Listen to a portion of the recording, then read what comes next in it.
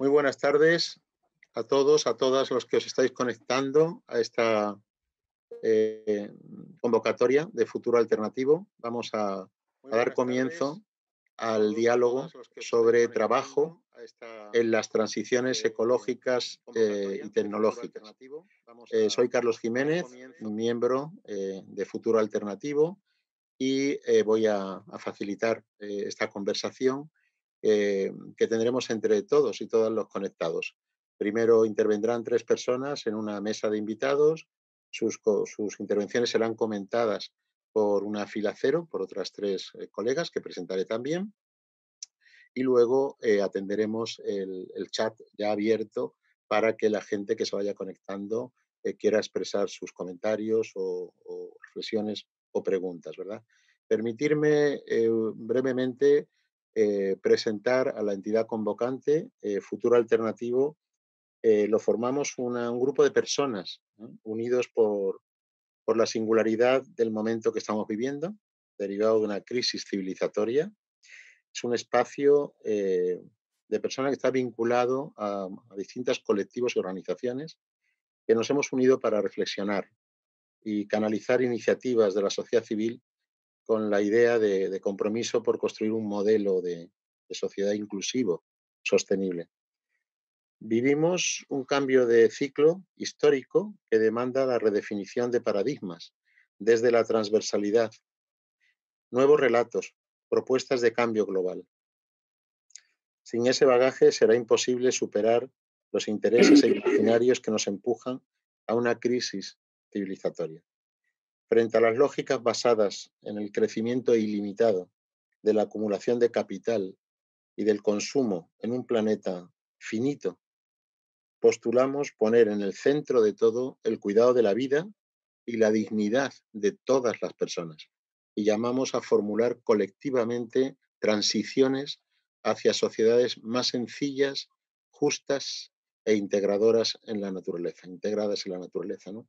Las entidades que pertenecemos, los, los miembros de Futuro Alternativo, y estamos convocando, pues es Alianza por la Solidaridad, ATAC, la Comisión Española de Ayuda al Refugiado, CEAR, Economistas sin Fronteras, el Foro de Transiciones, el Instituto de Estudios de la Tierra, el Instituto de Derechos Humanos, Democracia y Cultura de Paz, la Plataforma por la Democracia Económica, la Plataforma por un Nuevo Modelo Energético.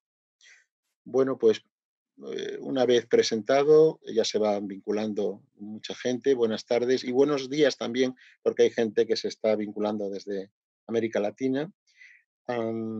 expresaros que lo que haremos será un diálogo público, una conversación pública. Esta es una de las fórmulas de deliberación que se está eh, imponiendo en muchos foros.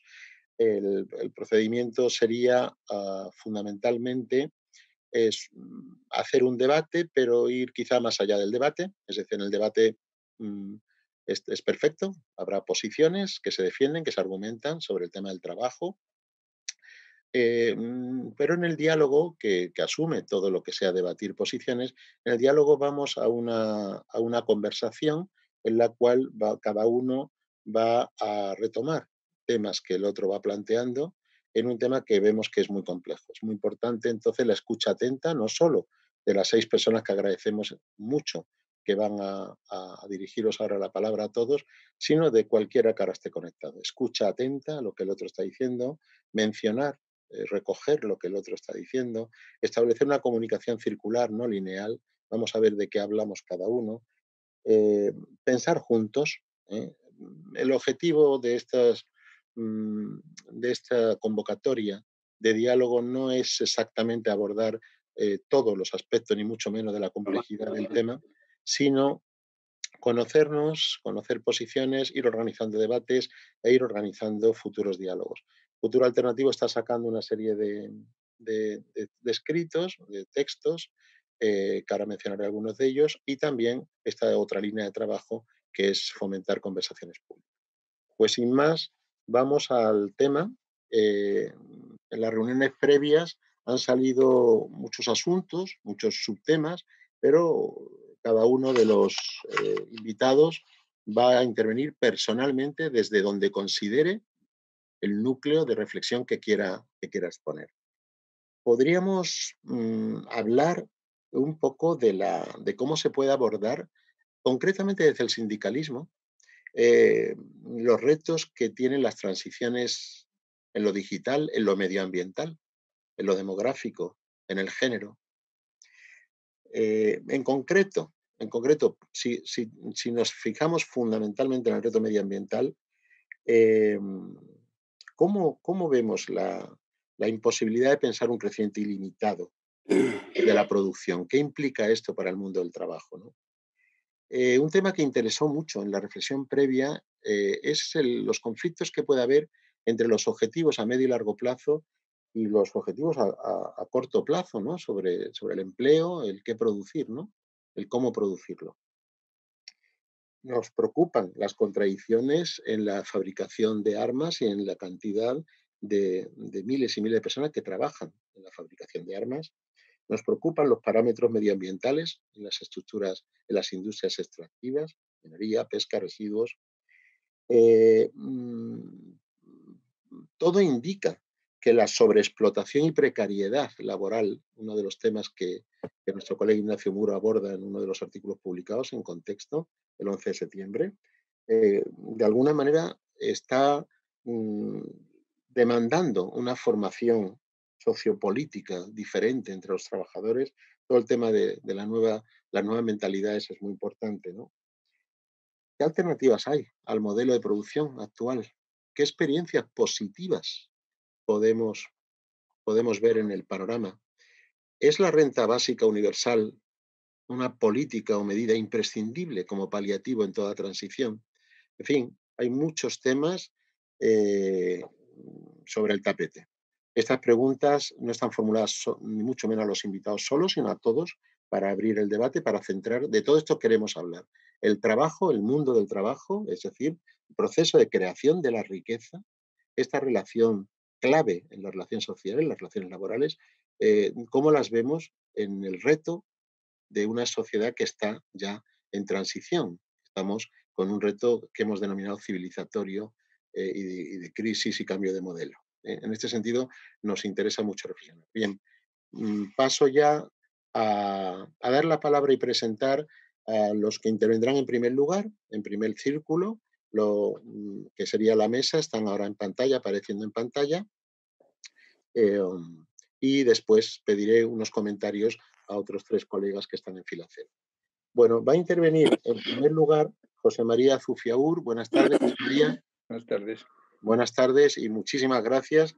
Eh, José María, eh, sindicalista, secretario general de uso de 1971 al 77, es decir, en el tardofranquismo, en la transición a la democracia, posteriormente miembro de la ejecutiva de la UGT, secretario general junto de UGT. Eh, yo quiero destacar, además de sus puestos de responsabilidad sindical en CUFIAUR, la labor editorial y de estudios como director de la revista Claridad, del Instituto Sindical de Estudios también. Y José María en estos momentos es presidente de la sección de Relaciones Exteriores del Comité Económico Social Europeo. Es miembro del Comité Científico del Centro de Estudios Sindicales del Instituto de Florencia y del Grupo de Alto Nivel sobre Relaciones Laborales y Cambios Industrial en la Unión Europea. Él intervendrá en primer lugar, eh, le seguirá a continuación, la intervención de Joan Coscubiela. Eh, Joan, mm, eh, gracias, muchas gracias por estar, eh, por, esta, por aceptar este embate. Abogado laboralista, sindicalista y político. Joan ha sido representante en Comú Podem en el Parlamento de Cataluña, secretario general de Comisiones Obreras de Cataluña entre 1995 y 2008, diputado por Iniciativa per Cataluña del 2011 al 2015 y eh, portavoz de Cataluña que Spot. Eh, Joan fue reconocido con la Creu de San Jordi en el año 2009. Es un, placer, un gusto que, estés junto con José María. Y en tercer lugar, va a complementar vuestras intervenciones Ignacio Muro, que es colega de Futuro Alternativo, yo le he conocido aquí en esta plataforma. Eh, Ignacio, economista, experto en, en, análisis de la globalización en nuevos modelos productivos en transiciones digitales, precisamente. Eh, Ignacio es profesor de comunicación en la Carlos III. Eh, tiene una enorme, larga experiencia en medios de comunicación del 87 al 2005. Tuvo cargos de dirección importantes en la agencia EFE. Entre sus libros está La globalización de la información y la agencia de noticias. Esta, esta no es mi empresa, otro libro suyo. Ignacio es, vocal fundador de la Fundación Economistas Frente a la Crisis y es miembro del patronato de la Fundación Economistas Sin Fronteras. Presidente de la Plataforma por la Democracia Económica, vamos a hablar mucho de esto, y miembro del Consejo Asesor de la Fundación Primero de Mayo. ¿eh? Ignacio, junto con Fernando Prats y algunos otros colegas, es de los que ha ido escribiendo estos artículos que os digo, para los que me estáis escuchando, el último, pues es en, contexto, el 11 de septiembre, como dije, precisamente dio, origen a, querer organizar este diálogo. El mundo del trabajo ante el diálogo sobre un futuro alternativo, se llama el artículo de Ignacio. Muchas gracias, Ignacio, por, tu artículo, por impulsar este debate, porque has estado desde el principio organizándolo, sugiriéndolo, y, vamos allá. Pues adelante, eh, tiene la palabra José María Zufeur. Buenas tardes, buenos días. Eh, bueno, en primer lugar, naturalmente, agradecer eh, muy eh, sinceramente el haberme invitado a poder participar en esta reflexión, en este, en este diálogo que desde luego es absolutamente interesante y fundamental para el presente y para el futuro. Yo voy a decir algunas de las cuestiones que, que me parece que están pues son relevantes a la hora de abordar esta, esta problemática y en función de alguna manera de lo que ha sido mi trayectoria, que ha sido una trayectoria sindical y también europea, ¿no? Y tratar de ver no solo cuáles eh, son las definiciones de los desafíos o los objetivos, sino cómo se puede intentar solucionarlos. ¿no? Bueno, en ese sentido, yo creo que la revolución digital implica riesgos, implica oportunidades. Y eso quiere decir que no hay un determinismo sobre cómo va a ser eh, el impacto de toda ella. Dependerá de lo que hagamos, como dependió en el pasado de otras revoluciones tecnológicas. Uno de los riesgos, o el riesgo fundamental que plantea esta revolución digital, sigo, por ejemplo, a autores como eh, Alain Supio, al cual pues, le tengo una gran eh, estima, eh, significa el riesgo de la deshumanización del trabajo. el que el trabajo sea concebido sobre el modelo de los ordenadores, es decir, como el receptáculo de la ejecución de un programa de lo que ya está escrito trabajos evaluados a base de indicadores de logro, extraídos de la experiencia concreta de la tarea a realizar. Y de ahí, por ejemplo, pues plantean muchos problemas respecto a patologías de tipo eh, mental, eh, muchos problemas respecto a la realización dentro del trabajo, muchos problemas respecto a la enorme precariedad del trabajo. Hay algunos autores que han dicho que es una vuelta al siglo XIX antes del régimen de asalariados. Es decir, es verdad que está habiendo eh, sentencias, como la última y muy reciente de los trabajadores de Globo, pero mm, el reconocer que haya una relación laboral no es probablemente regular suficientemente esa relación laboral. Eh, hay que decir que es, la tecnología no obliga a tener ese tipo de relación, no, no diríamos, eh, determina el que la relación laboral tenga que ser, así. Es una opción, es una opción que sigue mm, intereses, en definitiva, de negocio y de explotación, a base de la precariedad total, como ya sucedió en la primera revolución industrial. Eh, también abre, posibilidades, oportunidades para el trabajo. Eh, es posible que esa tecnología progresivamente tome en cuenta pues, tareas que son calculables y programables. Pero eh, eso siempre dependerá de si domesticamos a la tecnología o la tecnología nos domestica a nosotros. Eso quiere decir que eh, evidentemente lo positivo es que se podría concentrar el trabajo en lo incalculable y lo improgramable, como dice Supiot. Eh, puede ser un factor de emancipación, de, libertad, de creatividad, de socialización con el otro y una forma también diferente de concebir la empresa y la gestión de la misma. De alguna manera, esta mm, reflexión o este sistema dialéctico también creo que en el sindicalismo en general eh, se aborda como un desafío, el desafío ecológico desde la perspectiva del mundo de trabajo, como algo en lo cual se mezcla el desafío ecológico con el desafío social, que van de la mano, que no pueden ir separados, que no habrá dos futuros distintos, que no habrá empleo, como dice un eslogan de la Confederación Sindical Internacional, no habrá empleo en un planeta muerto, pero seguramente no habrá cambio ecológico si no se solucionan los problemas también sociales, los problemas inmediatos con proyección en el futuro. Eh, en tercer lugar, en segundo lugar, eh, tú has dicho, Carlos, que estamos en un, entramos en un nuevo periodo histórico, que es absolutamente evidente, con los impactos del cambio climático y de la sostenibilidad ecológica.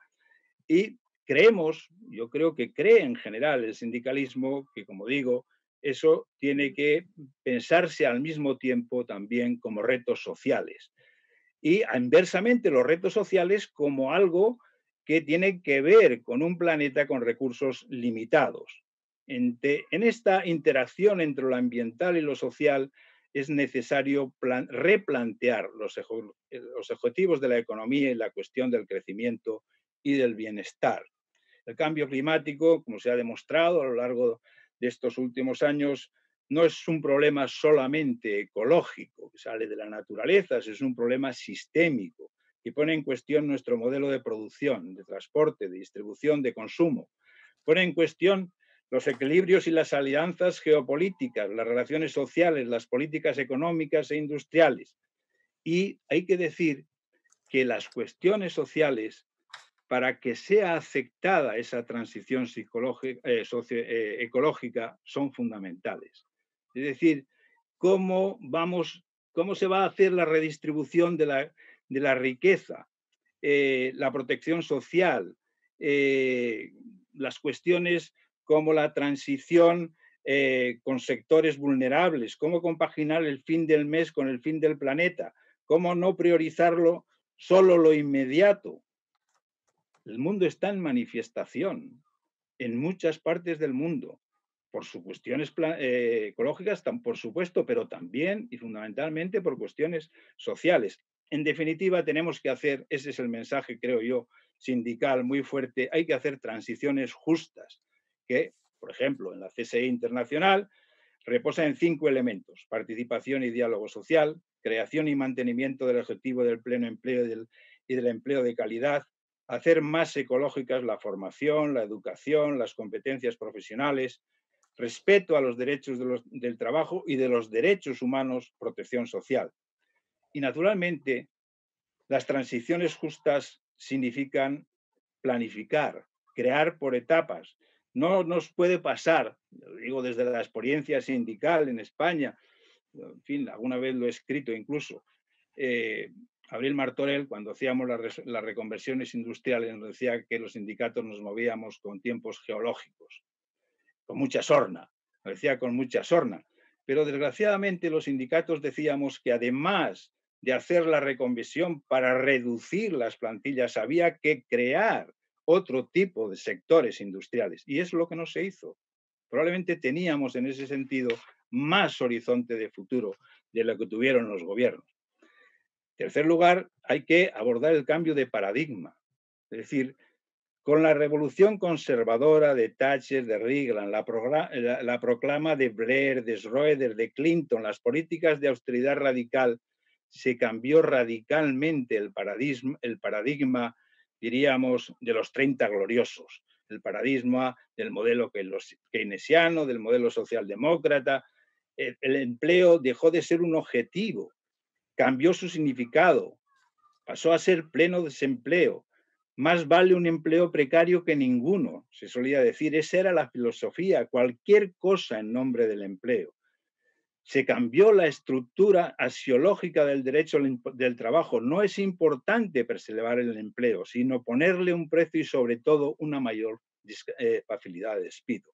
El trabajo perdió centralidad en el espacio político, salvo para insistir en la desregulación.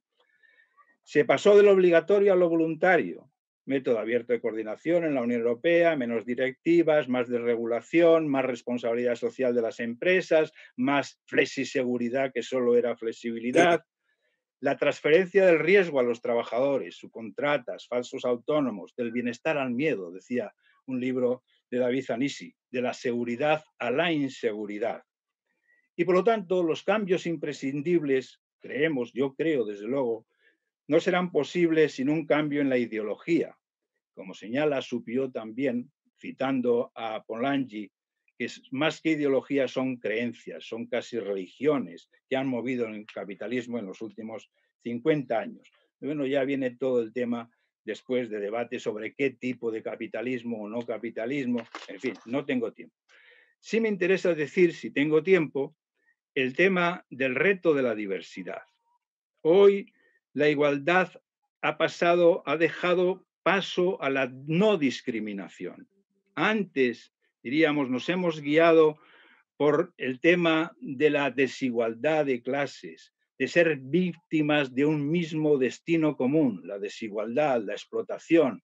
Ahora pasamos a luchas sectoriales, de género, de sexo, jubilados, de segregación, multimedioambientalistas, los chalecos amarillos, los jóvenes, las desigualdades se han multiplicado e individualizado. Es decir, ¿cómo federalizamos eso?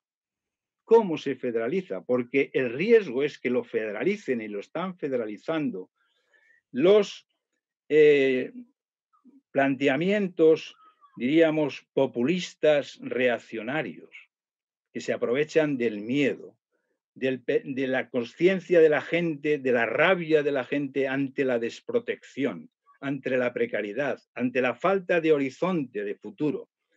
Eh,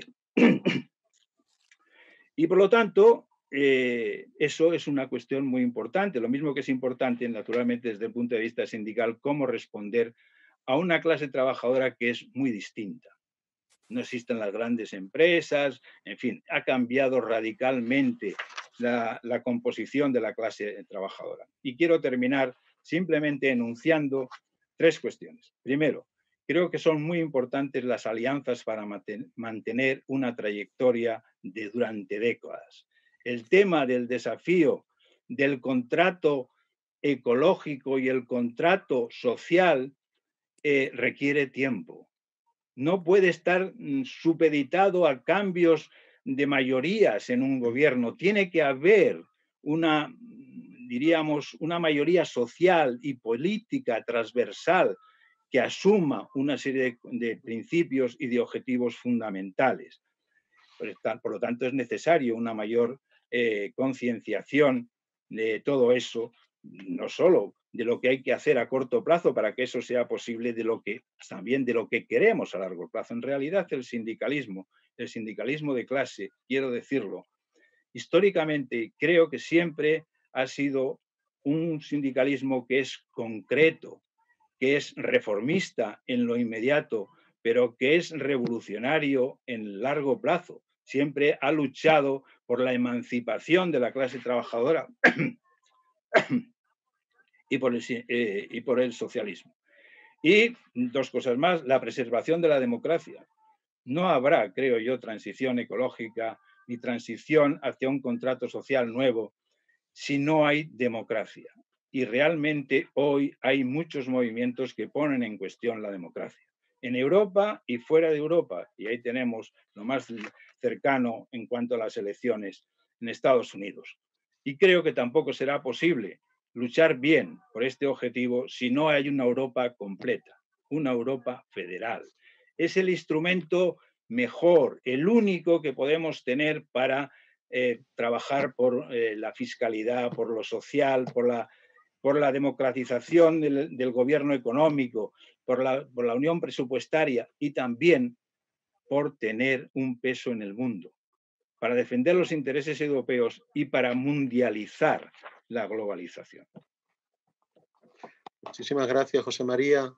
Bueno, eh, es una intervención de, apertura eh, que da para, muchísimo. Comenzó planteando un par de dialécticas entre riesgos y, oportunidades de, la revolución digital y también entre la, interconexión entre lo ecológico y lo social. Eh, José María continuó con, ya, ya reivindicando las transiciones justas, el necesario cambio de paradigma, el reto de la diversidad y ha, y ha acabado planteando las necesidades de amplias alianzas, de fortalecimiento de la democracia y de, la necesidad de una Europa unida. Eh, bien, muchas gracias. Eh, paso la palabra eh, a Joan Poscubiera. Por favor, Joan, tu turno. Muchas gracias. Muy bien. Bueno, buenas tardes. Muchas gracias por esta invitación. Vamos a poner el reloj. De entrada ya ha quedado bien claro que es una intervención a título individual, por supuesto. De todas maneras, quiero advertir desde entrada que a todas las preguntas que estabas planteando, Carlos, yo tengo más dudas que certezas y más inseguridad que, certidumbre. Las tenía, eh, pero sin duda yo creo que como a todos, un poco lo que hemos venido a llamar la pandemia del coronavirus, las ha acrecentado. En todo caso, desde mi punto de vista, de las pocas virtudes que tiene este desastre de la pandemia es que eh, nos está, está actuando como un espejo de una lupa al mismo tiempo. Un espejo que nos refleja la realidad de nuestra sociedad, que existía, pero que muchas veces no hemos querido ver. Gran parte de las cosas que se ponen de manifiesto en esta crisis fueron ya advertidas en crisis anteriores y concretamente eh, en la crisis financiera y la gran recesión 2008-2011. Y, pero, pero, pero, la pandemia las ha puesto, yo diría, desde un punto de vista con mucha más evidencia. Y al mismo tiempo está actuando como una especie de lupa, ¿no? que se acerca a la realidad, focaliza en el conjunto del mundo, en el conjunto del planeta, pero también en cada uno de los países, ¿no? y nos saca, a cada uno de nosotros nos saca los colores, nos saca los granos ¿eh? que aparecen en, en, nuestra, en nuestra realidad. Eh, desde esa perspectiva, creo que va a ser imposible eh, separar eh, lo que yo mm, veía, leía, pensaba antes de lo que en estos momentos esta pandemia me ha hecho, me ha hecho dar vueltas al coco. ¿no? fíjate bien, Carlos, que en tu intervención inicial has, eh, hablado de dos cosas. A mí me ha parecido como sinónimos, ¿no? La crisis del capitalismo y una crisis civilizatoria. lo primero que tendríamos que hacer eh, es contextualizar qué nos está pasando en estos, en estos momentos. ¿no? Eh, estamos ante una crisis del neoliberalismo, entendida como una fase del capitalismo que se inició con fuerza con la reacción conservadora de, hace los años 80 del siglo pasado, solo es eso. Estamos ante una crisis más profunda del capitalismo, que es común al capitalismo manchesteriano, al capitalismo eh, socialdemócrata, al capitalismo de Estado de Asia y concretamente de China, al capitalismo ultraliberal, o estamos incluso ante una crisis civilizatoria es decir, que algunas de las cosas que están apareciendo son anteriores al capitalismo, lo único que pasa es que el capitalismo las ha acrecentado. Eh, creo que como pasa siempre en este tipo de cosas, hay un poco, hay un poco de todo, pero tenemos ahora una cierta oportunidad para, para profundizar, porque desde mi punto de vista hay un evento común, y es que estamos ante una evidencia de la insostenibilidad ambiental socioeconómica y democrática de, este sistema. Ojo, ¿eh? Que, estemos ante una situación insostenible no quiere decir que inexorablemente eso vaya a modificarse en positivo. ¿eh?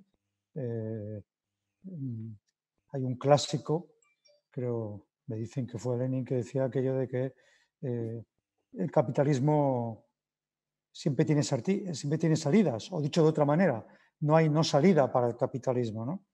Desde esa perspectiva, eh, eso que llamamos las lecciones del coronavirus habrá que verlo, porque entre las experiencias colectivas, entre las experiencias individuales y colectivas y las lecciones políticas se, se entremezclan, se, se, meten por el medio los intereses, ¿no?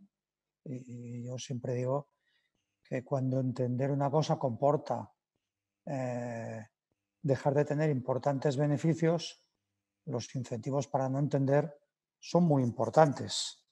Y en estos momentos los sostenedores del sistema no tienen en general muchos incentivos para, para ese cambio. Bueno, eso es un poco lo primero que quería plantear desde esa perspectiva. ¿no? Eh, eh, en ese nivel de insostenibilidad se ha producido un fenómeno curioso, ¿no? Es que, eh, como decía Zufior, y estoy completamente de acuerdo con él, hace mucho tiempo que el, trabajo ha perdido centralidad política, no social. Y la crisis del coronavirus ha puesto de manifiesto la importancia de la centralidad social de los trabajos, no solo del empleo, de los trabajos, especialmente de los trabajos de curas, ¿no? Es un gran cambio que estamos empezando en nuestro momento de la mano impulsado, dirigido por el movimiento feminista, que creo que tiene una gran capacidad de transformación social. Pero lo que ha hecho eh, la crisis económica ha puesto de manifiesto la centralidad social del trabajo. Pero esa centralidad social no, se corresponde a centralidad política. La pérdida de centralidad política del trabajo es brutal, incluso entre los partidos del ámbito de las, de las izquierdas desde esa, desde esa perspectiva. ¿no? Entonces, ¿en qué consiste desde el punto de vista? ¿Cuáles son esas causas de insostenibilidad? ¿no?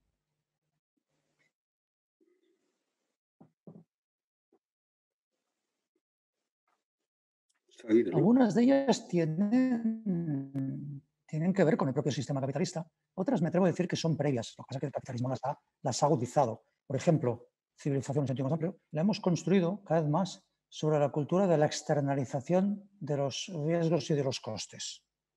De todos contra todos. Del capital contra el trabajo, de empresas centrales a empresas periféricas, de los hombres a las mujeres, de los nacionales hacia los inmigrantes, de todos hacia el medio ambiente. Así funciona. Eh, con el riesgo de que los. Con el riesgo, con, con el agravante de que la vida nos ha demostrado que los riesgos que se externalizan vuelven multiplicados. Rebotan multiplicados. Y eso es lo que nos está pasando en estos momentos. Es decir, mm, cuando tú irrumpes en el medio natural de otros seres vivos, ignorando eso, lo mínimo que te puede pasar es un proceso zoonótico como el del coronavirus desde esta perspectiva. ¿no? Es decir, que que aparezcan esas realidades y que encuentres absolutamente desarbolado. ¿no? Luego, y eso ya es más imputable a esta nueva etapa, se ha producido una ruptura de algo que nos ha hecho humanos, que es el equilibrio entre cooperación y competitividad. Nuestro salto en la escala evolutiva es ese equilibrio entre cooperación y competitividad. En cambio, llevamos unas décadas en que la competitividad ha anulado el espacio de la cooperación. Y eso siempre ha sido preocupante, pero en un mundo global interdependiente, no entender la cooperación es tener comportamientos eh, suicidas desde el punto de vista. Entonces, eso, eso es la situación que teníamos. Alguien le llama transición. Yo creo que es algo más que transición. ¿eh? Yo creo que estamos ante unas disrupciones muy profundas, mucho más posiblemente de esas que configuran cambios de épocas, ¿no? que siempre vienen de las manos de los cambios tecnológicos y de su incidencia en las estructuras sociales desde el punto de vista. Eh, eh, eh, esa, esa, transición, esas disrupciones, digo disrupciones porque es que mm, se ha roto todo lo que conocíamos. Se ha roto el espacio temporal. Decía antes Zufiaur sobre que el sindicalismo funciona desde, con tiempos geológicos, ¿no? la imputación que, nos hacía Abril Martorey. Bueno, pues la verdad es que el sindicalismo, como todo el mundo industrial, funciona en tiempos analógicos. En España hemos pasado en, medio siglo de tiempos agrarios, tiempos industriales, tiempos digitales, una velocidad brutal. Eh, por si fuera poco, el territorio nacional donde se ha construido la industrialización ha desaparecido y estamos en un espacio profundamente global. Y todo ello a una velocidad que hace que la capacidad de las estructuras sociales e institucionales que construimos para civilizar el capitalismo hayan hecho aguas. Estamos ante una dislocación sinceramente, no nos sirven. ¿eh? Y no nos sirven ninguna. No nos sirven tal como la configuramos en estos momentos. En eso consiste la crisis del sindicalismo, que es una crisis real, es, es la crisis de todas las estructuras de intermediación social. Mucho más lo son la de los partidos políticos, comparte con las entidades sociales, todas, incluso con aquellas que creen que no están sometidas a esa crisis. Por supuesto, los medios de comunicación, y de eso Ignacio Muro nos podría hablar mucho porque, porque sabe, ¿no? Entonces, ante esas disrupciones que son tecnológico-digital, que es ambiental, ojo, demográfica, muy, muy importante, demográfica que va a trastocar todos los equilibrios entre imperios, los está trastocando ya, pero al mismo tiempo nos sitúa delante de un reto brutal. Y es que alguien quiera convertir la lucha de clases, lo está intentando en una lucha entre generaciones, ¿eh? lo está intentando ya desde hace mucho tiempo. Entonces, bueno, ese es el reto que tiene el sindicalismo en estos momentos, como todas las estructuras. Yo estoy convencido que el sindicalismo como organizador del factor trabajo va a continuar jugando un papel determinante y va a recuperar una cierta centralidad política, pero claro, será otro sindicalismo, como será otro trabajo. Porque sería tan ingenuo es pensar en el fin del trabajo como pensar que el trabajo va a continuar siendo como lo hemos concebido en la sociedad industrial. Ese es, yo creo, el reto fundamental. Pero un punto de partida clave es ser conscientes de que el trabajo va a continuar jugando un papel de centralidad social y política. Lo ha sido siempre. Las sociedades se han articulado alrededor de la forma de trabajo. Esclavismo, servidumbre, mercantilización, industrialización, no sé cómo le vamos a llamar a esto que está empezando, esta gran evolución que estamos empezando. Entonces, en ese sentido, algunos de los elementos ya han comenzado, por ejemplo, el cambio del concepto trabajo a empleos. Es evidente que el futuro va a ser una sociedad en la que los ingresos de las personas no van a depender exclusivamente del factor trabajo. ¿Cómo articulemos eso? Es tremendamente complicado y lo de las transiciones es determinante, ¿no? Porque el papel lo aguanta todo y estas, estas conversaciones nuestras también lo aguantan todo. Aquí podemos decir las cosas que sean, pero luego cuando uno se pone, Rufia lo sabe, cuando uno se pone a tener que gobernar esas cosas, se convierte un poco más fácil. ¿Por qué? Las transiciones tienen costes y la transición justa es una palabra muy bonita, eh, pero muy complicada de plantear. Porque no solo son transiciones entre personas, son transiciones entre colectivos, son transiciones entre territorios. Por ejemplo, Sofía lo conoce muy bien, la negoció la transición de la reconversión industrial del norte desde la perspectiva de las personas que se fueron, Hollywood. Por desde la perspectiva de los territorios que quedaron y de las generaciones que se quedaron ahí, desastrosa. Entonces, mm, complicado. Yo, para dar un toque de, de ilusión en el tema, creo que lo que deberíamos es intentar, además de tener un diagnóstico, creo que ha llegado el momento de imaginar un nuevo pacto social civilizatorio. El que teníamos no nos sirve. Necesitamos, necesitamos imaginar. No sé quién fue que dijo que en este tipo de momentos gana el que imagina primero. Claro que además de imaginar y proponer, necesitamos una cosa que se llama fuerza. Y esa musculatura no la tenemos. Y se llama también sujeto político, ¿no? O al menos lo llamábamos, ¿no? Los sujetos históricos, ¿no? Termino con una cosa, a mí unos temas que me han sorprendido, me ha dejado desconcertado, no sé si vosotros tenéis alguna respuesta. Yo entré en esta crisis de la pandemia convencido que feminismo y ecologismo están llamados a jugar un papel determinante en la construcción de esos nuevos sujetos históricos. Por una razón, porque ambos son portadores de valores universales que son determinantes para construir ese pacto social civilizatorio en un mundo que tiene tendencia al individualismo y al corporativismo. Pero sinceramente estoy un poco consternado, estoy un poco desconcertado, no sé si alguno tiene alguna explicación, porque justo en el momento en el que hace más evidente, por ejemplo, la importancia de los cuidados y por tanto el protagonismo del feminismo en eso, o la crisis ecológica que provoca el coronavirus, justo en esos momentos, los sujetos portadores de esos valores, desde mi perspectiva, como con todos, no han sabido, no, hemos sabido, perdón, en primera persona del, del plural, no hemos sabido jugar ese papel de protagonista. Supongo porque estamos todos, al menos yo, desconcertado totalmente y con más dudas que, certezas. Muchas gracias, muchas gracias, Joan. Eh, empezó con planteándonos que hablaba desde la duda, de la incertidumbre y ha acabado. Eh, por eso te, te, agradezco en nombre de todas y todos los que estamos escuchando este pensamiento abierto, abierto, completamente abierto, personal sobre las incertidumbres que tiene tanto valor. Se ha ido sumando a cosas planteadas por José María, ahora va a intervenir Ignacio Muro, pero eh, por favor, todos los que estáis escuchando y siguiendo el diálogo, pues retomar, retomar y iremos retomando este cuestionamiento, esta pregunta inicial de Joan, ¿no? ¿Cuál es la crisis? Eh, ¿De qué? ¿De quién? ¿De cuál es la crisis? ¿no? Ha partido de una evidencia de lo insostenible, pero ha planteado con claridad que de ahí no se sigue necesariamente un mundo más positivo, ¿no? Por muy insostenible que sea, ¿no?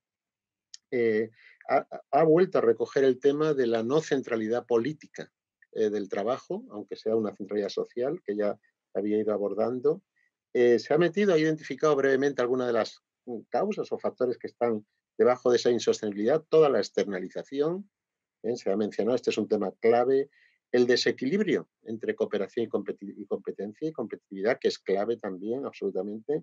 Ha puesto mm, pensamiento sobre, no tomemos la palabra y el concepto de transición sin más, sino hay mucho de disrupción, mucho de dislocación en todo ello. Y bueno, acaba reivindicando, por, mirando a futuro, un nuevo pacto social. ¿no? Y, cuál es el papel de los movimientos como el feminismo, el ecologismo, que tanta esperanza nos dan, pero también tenemos que, evaluarlos una y otra vez, estos nuevos sujetos. Muchísimas gracias, Joan. Muchas gracias. Vamos sumando temas y tiene la palabra eh, Ignacio, Ignacio Duro. Adelante, Ignacio Muro, por favor. Bueno, buenas, buenas tardes a todos. Gracias, compañero, por, por esta invitación, de la que yo efectivamente formo parte del grupo que lo organiza, o sea que era fácil invitarme a mí mismo. Eh, eh, retomo lo que decía Joan, que era el tema de la centralidad, de la no centralidad política del trabajo. En el fondo es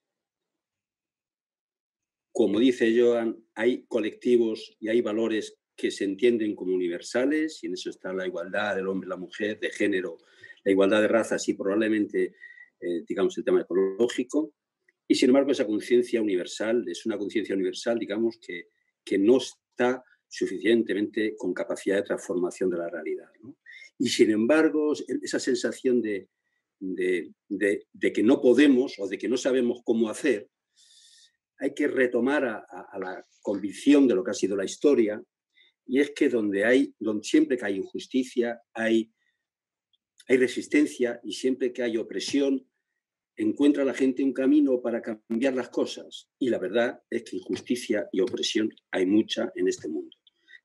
Entonces, estamos en un momento en que las condiciones sociales hacia la, hacia, hacia la soledad de la gente conviven con unas condiciones de vida terribles que no imaginábamos hace 20 o 30 años y por tanto la pregunta es cómo se construye conciencia o cómo no se construye conciencia en este momento, qué dificultades tenemos.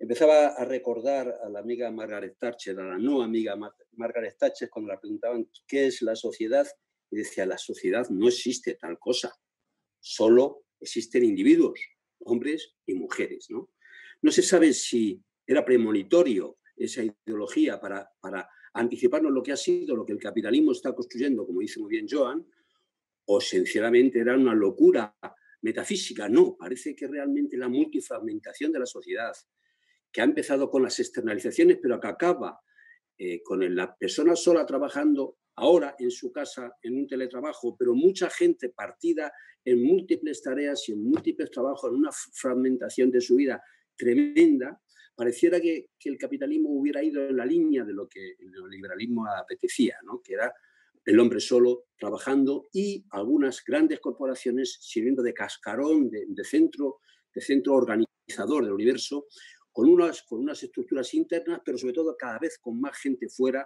pivotando como si fueran satélites solos en microempresas, solos en autónomos, solos organizados y indefensos ante la realidad. ¿no? Por tanto, el, problema de la construcción de la conciencia, el problema de cómo se relaciona la injusticia y la conciencia me parece un tema central. Y, y el otro tema, eh, en otro orden, conectando con lo que decía la Margaret Thatcher, recordaban el artículo la pirámide de Maslow, que era un sociólogo que en el 1940 y tantos decía que la gente tenía tendencia a quería resolver primero sus necesidades básicas, pero que una vez resueltas sus necesidades básicas, empezaba a construir una vida con aspiraciones de valores superiores, en los que, digamos, mm, la ética, el equilibrio, la sostenibilidad, todos los elementos que ahora incorporamos como valores superiores en la, vida, formarían parte de, de la consecuencia de haber satisfecho las necesidades básicas. ¿no? Por tanto, la sociedad evolucionaría hacia valores superiores e iría perdiendo los valores intrínsecamente primarios asociados a la sobrevivencia. Eh, lo que está ocurriendo, desgraciadamente, esto que lo hizo en el año 45 y valió durante buena parte del siglo XX, es que el capitalismo ha roto y realmente donde creíamos que había sociedades preparadas para valores superiores, se empiezan a desgajar muchas capas y empiezan a pensar solo cómo sobrevivo el día mañana. Las crisis sucesivas y sobre todo el capitalismo en el centro del, mundo, en el centro de los países europeos, en el centro de Estados Unidos, es un capitalismo que excluye cada vez más a la gente, que rompe las clases medias, que, que separa lo que sería digamos, la lógica de integración típica que fue en los años 70 del capitalismo y lo que está haciendo es rompiendo y rompiendo arriba abajo la sociedad y por tanto los que están arriba pueden seguir pensando en valores superiores, los que están abajo piensan en la subsistencia. Y esta gran contradicción es una contradicción que, hace muy difícil la construcción de la conciencia general que decíamos antes. No solo, solo valores, es que la, centralidad del trabajo, que decía Joan, la centralidad del trabajo acaba construyendo forma de pensar. No es el único factor, sin duda, pero la mentalidad, la conciencia se crea, como decía Marx, el ser social determina la conciencia social en última instancia, o sea, la gente termina pensando cómo vive. Si vive en un barrio determinado, apartado y sufriendo y en, condiciones infrahumanas, en vivienda o muy cerca de lo infrahumano, se sigue pareciendo, tiene unos elementos de solidaridad con los suyos y si vive en una parte elitista, pues no tiene, tiene elementos de solidaridad con los otros suyos, ¿no? Con los otros, Entonces, es obvio que el ser social determina de alguna manera y la, la multifragmentación del tejido productivo y la gente sola hace que tenga una mentalidad en la que lo colectivo, el trabajo de los sindicatos, los partidos políticos, los partidos políticos obreros, porque todavía el Partido Socialista se sigue llamando socialista obrero, y eso sería la expresión de cómo la centralidad era la centralidad política, ser obrero o ser capitalista era lo que determinaba un partido. Ahora, el Partido Socialista es un partido interclasista de clase media y, recuerda vagamente el sentido de obrero porque ha perdido centralidad política el mundo del trabajo. esa construcción de, la conciencia, efectivamente, como decía Joan, pasa por un bien común, un bien común, pero ese bien común eh, que en el que está el ecologismo, en el que están todos los elementos que nos configuran y que configuran mucho las mentalidades urbanas y de clases medias, no son suficientes para atraer la vida del que está solo y desamparado y lo que quiere es protección o lo que quiere saber es qué le, le pasa mañana. ¿no? Este hombre solo, ¿cómo evoluciona? Ahí la construcción de la conciencia es un, influye mucho, como decía Joan antes, necesitaba como los medios, los medios de comunicación, la cultura, lo que le viene de arriba. Lo que le viene de arriba es aglutínate en razas, aglutínate en mm. patrias, aglutínate, o sea, vuelve otra vez a resurgir elementos de conexión que están fuera de la lógica, de la, de la lógica que nos han llevado al progreso porque la lógica que ha llevado al progreso es que los progresos económicos exigen resistencia del trabajo para crear productividad, porque solo haciendo caro el trabajo al final crean, se crean cambios y cambios y cambios y cambios y va avanzando el mundo.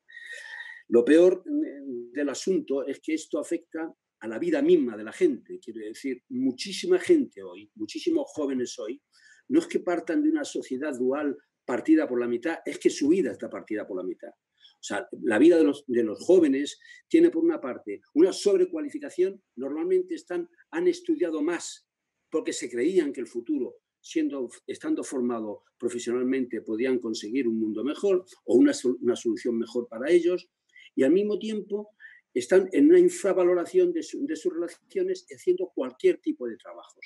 ¿Qué es lo que hace? ¿Cómo vive la gente? Pues vive como puede, sacando dinero como puede, en multifragmentación de cositas para llegar a los mil euros si puede, y tiene capacidad intelectual y ahí las tecnologías le favorecen para a lo mejor aspirar a una cierta realización en elementos marginales de su vida. A lo mejor tiene un blog, a lo mejor hace música, porque las nuevas tecnologías le felicitan un elemento de creatividad, pero la vida no le deja tiempo para la creatividad. O sea, paradójicamente estamos construyendo un mundo en el que sería posible un mundo mejor, un mundo de gente mucho más capacitada, pero un mundo que necesita resolver primero las carencias básicas de la gente. Y ahí estaba la alusión que hacía antes Carlos a la renta básica. O sea, si el trabajo, el trabajo en el sentido con conexión con el empleo, no conexión con cualquier actividad creativa, con cualquier actividad vital, si el trabajo vinculado con el empleo es algo que tiende a desaparecer, es obvio que nos tenemos que plantear elementos de garantía mínimos elementos de garantía que hagan que haya suelos en los que la gente pueda tener elementos, pueda desarrollar su creatividad, que sí es verdad que las tecnologías favorecen. ¿no? O sea, que estamos en un gran contexto entre, entre la soledad absoluta del hombre, la explotación absoluta de las grandes mayorías, la necesidad de crear una conciencia colectiva, la necesidad, digamos, de enfrentarnos a un mundo absolutamente desigual y, todo ello en un, en un, contexto de transiciones realmente complejas. ¿no? El pesimismo que citaba Joan, o el pesimismo, o decir la garantía de que el mundo va a mejor, no está asegurada.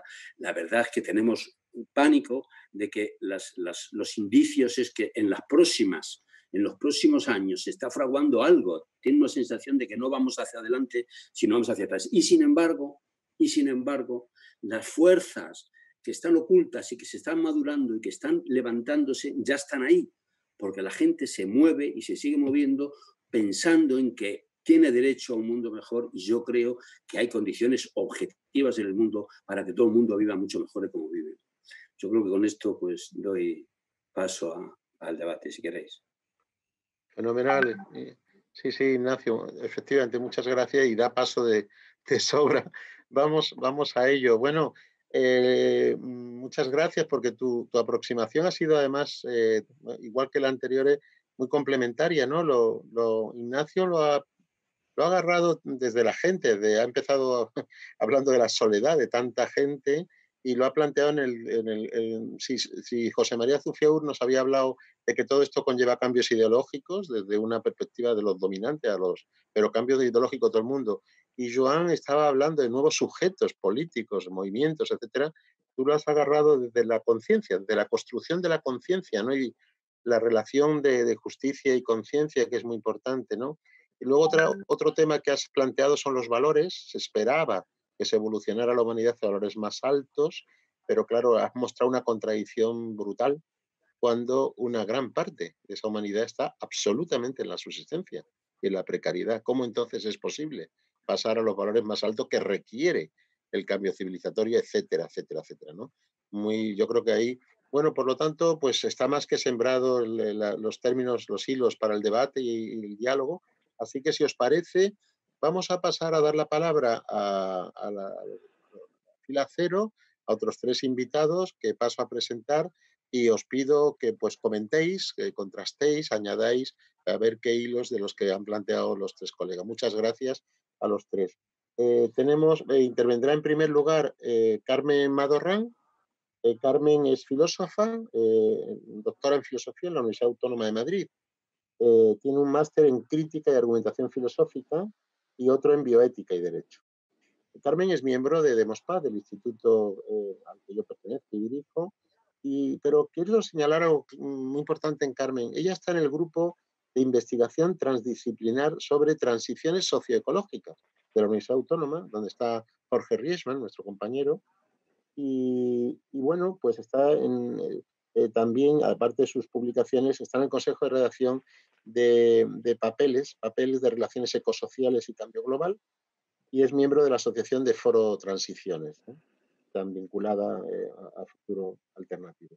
Bueno, además de todo ello, quiero señalar que Carmen es madre hace 15 días de una preciosidad y entonces va a intervenir la primera. Y hemos pactado que si desaparece la cámara, pues es porque se dedica a otras tareas, pero que ella seguirá escuchando y luego participando. ¿eh? Me ha dicho, sin problema ninguno lo puedes decir. Bueno, igual que antes voy a presentar a Juan Zafra, es un gusto, e intervendrá después Juan Zafra. Eh, tenemos aquí a un periodista, eh, profesor de periodismo en la Carlos III, y Juan es el director de Telos, la revista del Grupo Telefónica, organizador precisamente de debates y diálogos importantes. Tiene una larguísima trayectoria en prensa y radio, nos interesa muchísimo el aspecto de comunicación que ya ha salido eh, Juan ha sido asesor de la Secretaría de Estado de Comunicación del Gobierno de España y responsable de comunicación del plan Avanza para el impulso de la sociedad de la información. Así que es un placer eh, también que hayas aceptado y que ahora puedas contrastar. Y luego, en tercer lugar, eh, intervendrá Luis González. Luis es un doctor en ciencias químicas por la Complutense, ecologista. Luis es miembro desde su fundación de Ecologistas en Acción eh, ha estado hasta 2015 en su Secretaría Confederal y durante nueve años co-coordinador de, ecologistas. Es socio de la cooperativa Garúa, mm, ha publicado decenas de libros sobre aspectos diferentes del ecologismo social, es colaborador con la Fundación Hogar del Empleado y es el responsable de ecosocialización en los centros escolares de esta fundación. Es un gusto que una filósofa, un periodista y un ecologista eh, comenten desde el ángulo que quieran. Aquí si os pido, la intervención es un poco más breve, por favor, que las anteriores, para que tengamos tiempo luego de ir trenzando una, posición o un hilo con otros, ¿vale? Os pido que eso, unos cuatro minutos, cinco, podéis intervenir cada uno. Carmen, tu turno, adelante.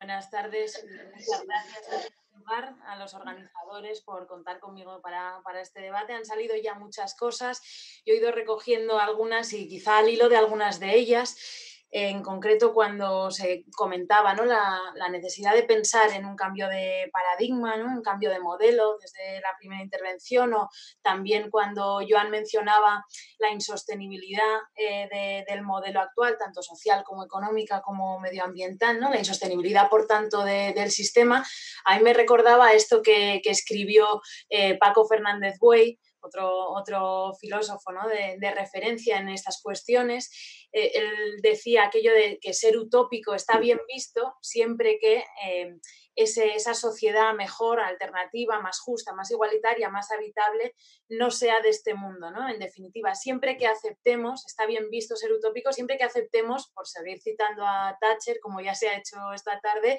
que no hay alternativa. Y, creo que ante el desastre ecológico y social que también se ha mencionado, que lleva aparejado el capitalismo, aunque como bien decía Joan, pues no sea eh, necesariamente su origen o el origen de todos estos males que nos han traído hasta aquí, creo que eh, pensar o dejar de lado eh, la reflexión sobre las alternativas completas eh, al modelo de producción, distribución y consumo, pues es algo que no podemos permitirnos. Y en ese sentido yo creo que quizá, por añadir, también comentaba Carlos al principio, ¿no? que, habría que, darle una vuelta a, la reflexión más a largo plazo también, ¿no? la cuestión de los tiempos que, ha salido, no solo la inmediatez de las medidas, que sin duda, eh, sino también un poco la mirada más a, a larga distancia, pues yo creo que urge pensar repensar y evaluar muy bien esos modelos alternativos. Eh, y bueno, creo que muchas veces nos, sucede no solo en los movimientos sociales y, en las organizaciones sindicales y políticas, sino también y muchísimo en la filosofía y en el ámbito académico, nos pasa demasiado que damos excesivo peso a la labor crítica destructiva, si queremos, ¿no?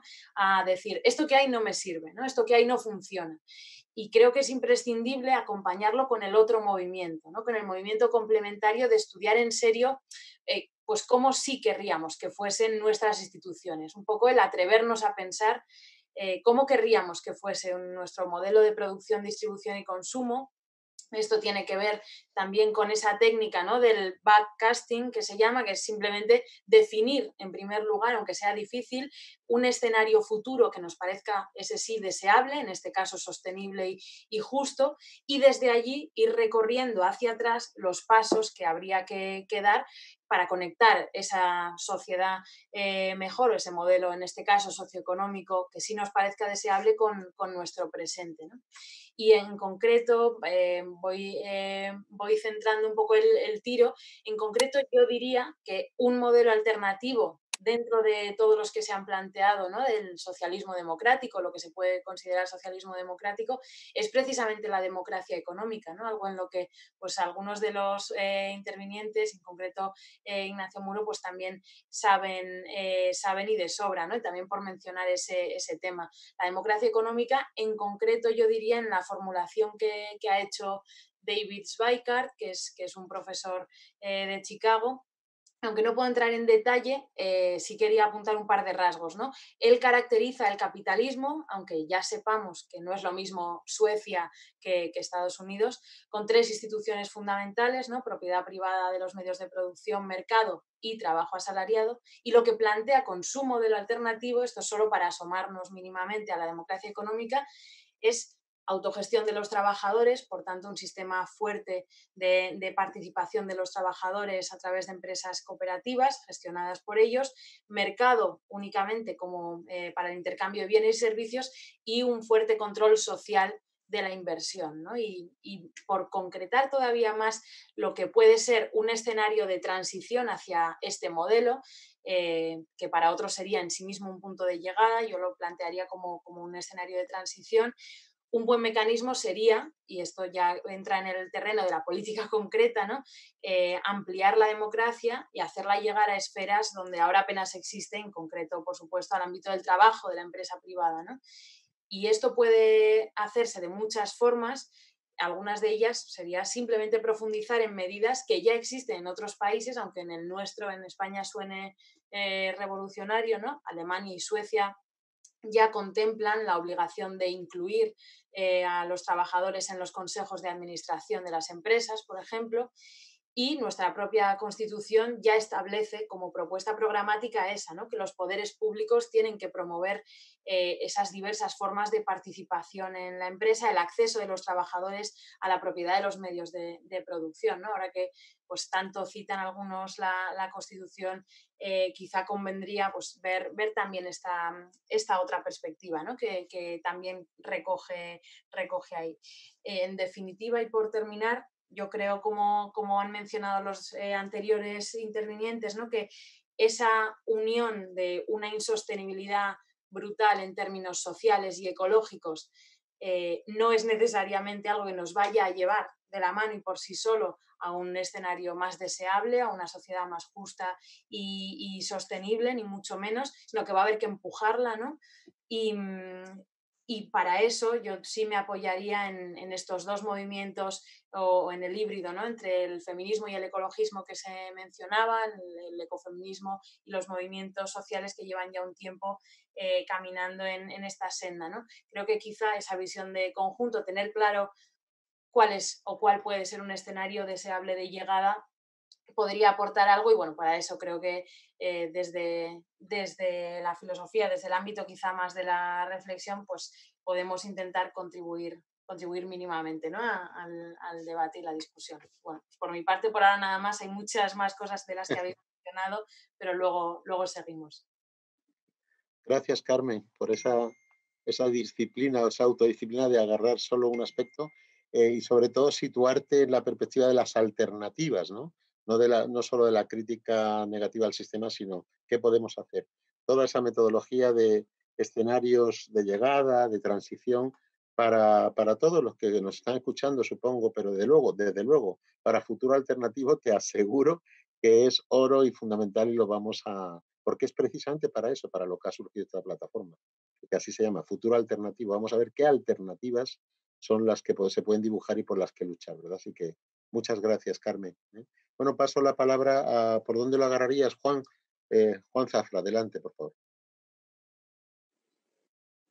Muchísimas gracias. Muchísimas gracias por la, oportunidad y gracias también a los, a los ponentes porque, porque realmente ha sido exposiciones muy enriquecedoras. Eh, eh, bueno, mm, yo cogiendo las palabras de Coscubiela, pues me vais a permitir que, en este desconcierto generalizado, pues lance algunas, algunas ideas y, seguramente muy en línea con lo que han comentado los ponentes anteriormente. O sea, nada más lejos de la confrontación, Carlos, como tú decías, sino tratar de enriquecer el, el debate. Eh, vivimos, vivíamos en tiempos de complejidad y lo que nos ha ocurrido con COVID-19 es que nos ha estallado la incertidumbre, la inestabilidad y nos ha conducido a este desconcierto, casi diría que desorientación. Y tomando la pregunta que lanzas, eh, ¿por dónde lo tomarías? Pues por repensar, repensar el mundo, o sea, sí, construir alternativas. Eh, estamos viviendo, estábamos viviendo en un mundo insostenible de desequilibrios y desigualdades eh, que, habían provocado que todas las alarmas globales estuvieran sonando y estábamos desatendiendo eh, esas alarmas y, profundizando en el desequilibrio, en la insostenibilidad entendida como equilibrio entre los humanos, en la relación entre los humanos, en la relación de los humanos con el, con el planeta y en los modelos de vida que nos habíamos impuesto y que veníamos arrastrando desde, desde la era industrial. La, prueba de, los riesgos que estábamos asumiendo es COVID-19, pero también lo es la incapacidad eh, manifiesta para resolver un problema que es global y que exige una visión a largo plazo más allá de, las emergencias sanitarias o económicas que, nos están que nos están surgiendo. Eh, vivir en la sobreabundancia en la que estábamos los países desarrollados acaparando riqueza, eh, tiene, tiene estos, entraña estas, estas pandemias, entraña cambio climático, entraña eh, desastres medioambientales, entraña conflictos sociales, conflictos raciales, conflictos geopolíticos, económicos, humanos incluso. Y tiene que ver con el uso que hacemos de herramientas tecnológicas como, como las plataformas, las redes sociales, y, la tergiversación con la que se con la que se están utilizando las tecnologías de la información y la comunicación eh, en, nuestra sociedad de manera dominante, ¿no? cuando, cuando son un instrumento de conocimiento como se había aspirado desde la Biblioteca de Alejandría. lo que parece que nos tiene copados es la desinformación y la manipulación. no es para esto para lo que se construyó y se desarrolló sobre todo Internet y las tecnologías de la información y la comunicación, que por cierto han sido determinantes para, para sostener, para eso que se ha dado en llamar la resiliencia, para sostener en funcionamiento la sociedad con el envite de, de, de, de, COVID. ¿no? Eh, bueno, no querría sonar catastrofista, ya mucho me conocéis y me declaro tecnooptimista humanista. Hay que replantearlo todo. Hay que asumir que la tecnología es una herramienta humana. Creo que, que ha sido José María el que lo, lo, ha mencionado. Es una creación de los hombres y solo tiene sentido, el progreso tecnológico y científico, solo tiene sentido si lo, si lo desarrollamos eh, pensando en el bien social. O sea, yo cuando se las cuestiones éticas del progreso tecnológico y científico, pues realmente me echo a temblar, porque no sé por qué si no se está en los laboratorios eh, tratando de, hacer descubrimientos, innovaciones, avances, si no es para mejorar el bienestar de, toda, la, de toda la humanidad. ¿no? Eh, nos, lo, nos está cambiando todo ah, y hay que asumir que todo el tiempo pasado fue anterior y que lo que tenemos ahora son nuevas herramientas que nos permiten construir un nuevo, un nuevo mundo. Estamos afrontando una revolución, una revolución que, como todas las revoluciones, empieza por la cultura por el conocimiento. Trayéndolo al mundo del trabajo, esta misma tarde volví a hablar con Jeremy Rifkin, que sabéis que es el gran precursor del New Green Deal, eh, y volvíamos a insistir en la necesidad de, pivotar esa revolución en lo que toca a los modelos eh, sobre las redes y la consolidación de las redes, lo que han sido siempre los pilares de las grandes revoluciones industriales. La revolución de las telecomunicaciones, porque eso permite irradiar una nueva cultura eh, a partir del conocimiento, conocimiento abierto que ya tenemos eh, posibilidad de, desarrollar, las redes energéticas con nuevos modelos, también abiertos, también horizontales, también colaborativos y, las redes de movilidad. Con eso se transforma el mundo. Lo que no podemos seguir es en, modelos de movilidad basadas en combustibles fósiles extractivos y, que nos llevan a estas situaciones de emergencia climática. ¿no? Eh, ya, voy terminando. Eh, me gustaría apuntar sobre el mundo del, trabajo. Yo creo que tenemos que asumir que vamos hacia un mundo en el que el trabajo deja de ser lo único que da sentido a nuestras vidas. Y tenemos que armar una nueva sociedad en la que los robots juegan, la automatización de los robots juegan un papel muy importante. y tenemos que desarrollar eh, aspectos que tienen que ver con la fiscalidad, que tienen que ver con la redistribución de la riqueza, que tienen que ver con actividades humanas que ahora mismo están siendo vapuleadas por determinados poderes que siguen anclados en la revolución industrial, como son la cultura, la filosofía, las artes, el pensamiento. Suena utópico, sí, lo que no se sueña no se construye jamás. Y las situaciones de emergencia, insisto, nos han traído hasta aquí, hasta una parálisis global, de la que no sabemos siquiera quién nos está marcando el paso. El empoderamiento de la ciudadanía puede venir también con la tecnología, viene con la tecnología, siempre y cuando la tecnología no se deje llevar por esos poderes absorbentes. Hay que pensar en un plan A, no tenemos plan B para este mundo, como se ha demostrado. Hace falta un nuevo modelo de crecimiento que ponga el énfasis en la riqueza social, y no solo económica, no solo financiera, que tenga un enfoque local, que vele por lo local, pero implicado en un mundo que es horizontal. Hay que reinventar el trabajo, hay que tener modelos de producción y de consumo sostenibles, que no sean ni extractivos ni contaminantes. ¿Y cómo lo hacemos? Yo creo que eso de principio tiene que ver con muchas renuncias, renuncias a posiciones de poder económico y político tiene que ver con, apertura a la participación de la ciudadanía, a la transparencia y sobre todo a la generosidad. Gracias por la oportunidad. perfecto. Gracias a ti, eh, Juan. Y has, vamos, planteado muchas cosas. Eh, entre otras, se vuelve a la dualidad, a la dialéctica entre entre los impactos que tiene la revolución tecnológica, ¿no? De, has hablado de tergiversación, de desinformación, eh, de manipulación, pero al mismo tiempo del enorme potencial de resiliencia, de creatividad de ciudadanía que hay en esas mismas tecnologías, ¿no? Aparte de otras cosas que has planteado. Con eso se vuelve al primer tema de los que planteó José María Zufiaur con la revolución digital, ¿no? Cuando él decía que había riesgos muy claros de deshumanización, habló, pero también oportunidades de nueva socialización. ¿no? En eso estamos, no me gusta la palabra batalla, pero el dilema está abierto a ver, eh, pero está marcando un poco por dónde tenemos que hacer el esfuerzo. ¿no? Muchas gracias, Juan.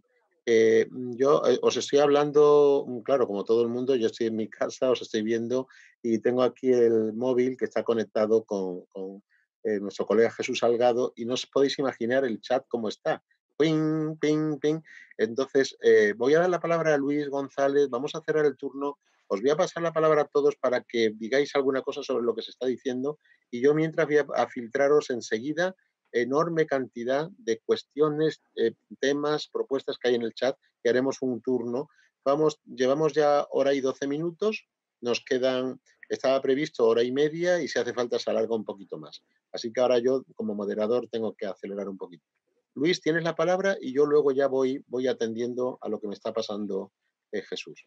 Adelante, Luis. Pues muchas gracias por la palabra y muchas gracias por la invitación, por supuesto. La verdad es que han salido un montón de temas sobre los que me gustaría polemizar, sobre si la Unión Europea es un agente de cambio en positivo, sobre si lo digital tiene larga vida, sobre si la tecnología es neutral, sobre si el empleo está desapareciendo, sobre esos nuevos modelos de crecimiento o el Green New Deal, o sobre ese falta de, por parte del ecologismo, del feminismo, de saber aprovechar las oportunidades que tenemos.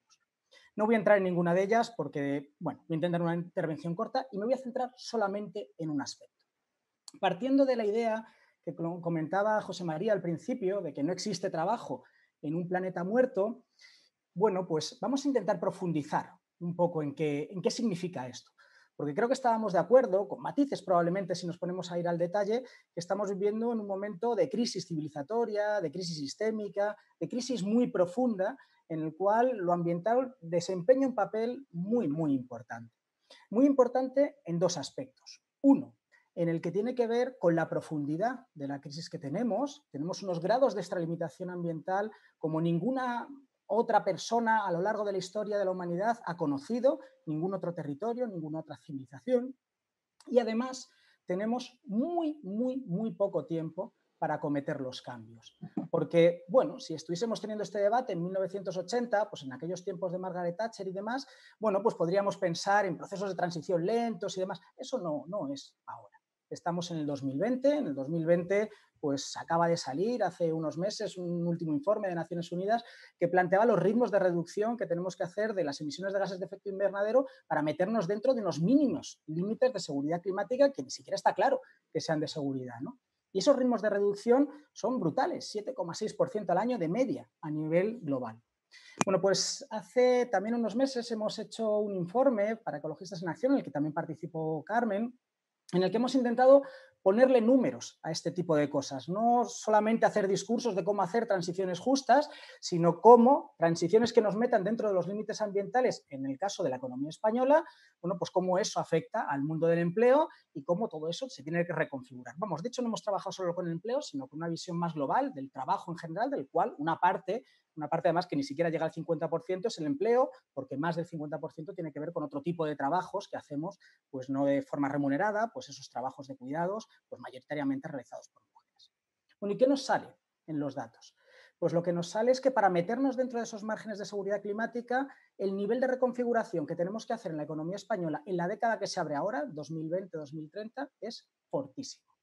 Y básicamente se articula con tres tipos de medidas. Una, reducción muy importante en lo que tiene que ver con el tamaño de nuestra economía y con muchas de las actividades en las que hacemos. Y cuando digo muy importante me refiero a muy importante, no algo anecdótico. Por ejemplo, a nivel de climatización en los hogares estamos hablando de reducciones del orden del 50% de los consumos energéticos que no se alcanzan solamente con mayor eficiencia energética.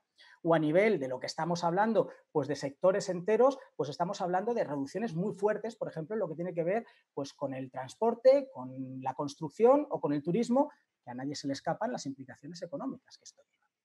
Segunda medida, una fortísima localización de nuestra economía que haga pues, que un nivel de intercambios tan brutal como el que tenemos a nivel exterior ¿no? y que conlleva pues, toda una serie de emisiones, eh, consumos energéticos y demás, pues lo reduzcamos. ¿no? Reducciones en lo que tiene que ver con el transporte por mercancías, sobre todo por barco, que es como entran, pero también de transporte de viajeros, sobre todo por avión, que es el medio más impactante. Y esto, a pesar de apostar por el ferrocarril, significa pues, también un proceso pues, importante de reducción en lo que tiene que ver con nuestra movilidad. Y también implica cambios en lo que es nuestro modelo productivo. Por ejemplo, pues un tejido industrial pues mucho más diverso, mucho más denso, que permita satisfacer las necesidades que necesitamos las personas pues, dentro del territorio español, pues en una economía, pues ya digo, con menos niveles de interconexión. Y el tercer elemento, no menos importante, es que nuestra economía tiene que integrarse mucho mejor en los ecosistemas. No una economía que está en guerra contra la vida, sino una economía que se integre de manera armónica con la vida. Y esto significa ir transitando desde una economía industrial y de servicios hacia una economía pues fundamentalmente agrícola y no de cualquier tipo de agricultura, sino una agricultura basada en los parámetros de la agroecología. Esto lo hemos ido correlacionando con los cambios en el mundo del empleo y con los cambios en el mundo del trabajo.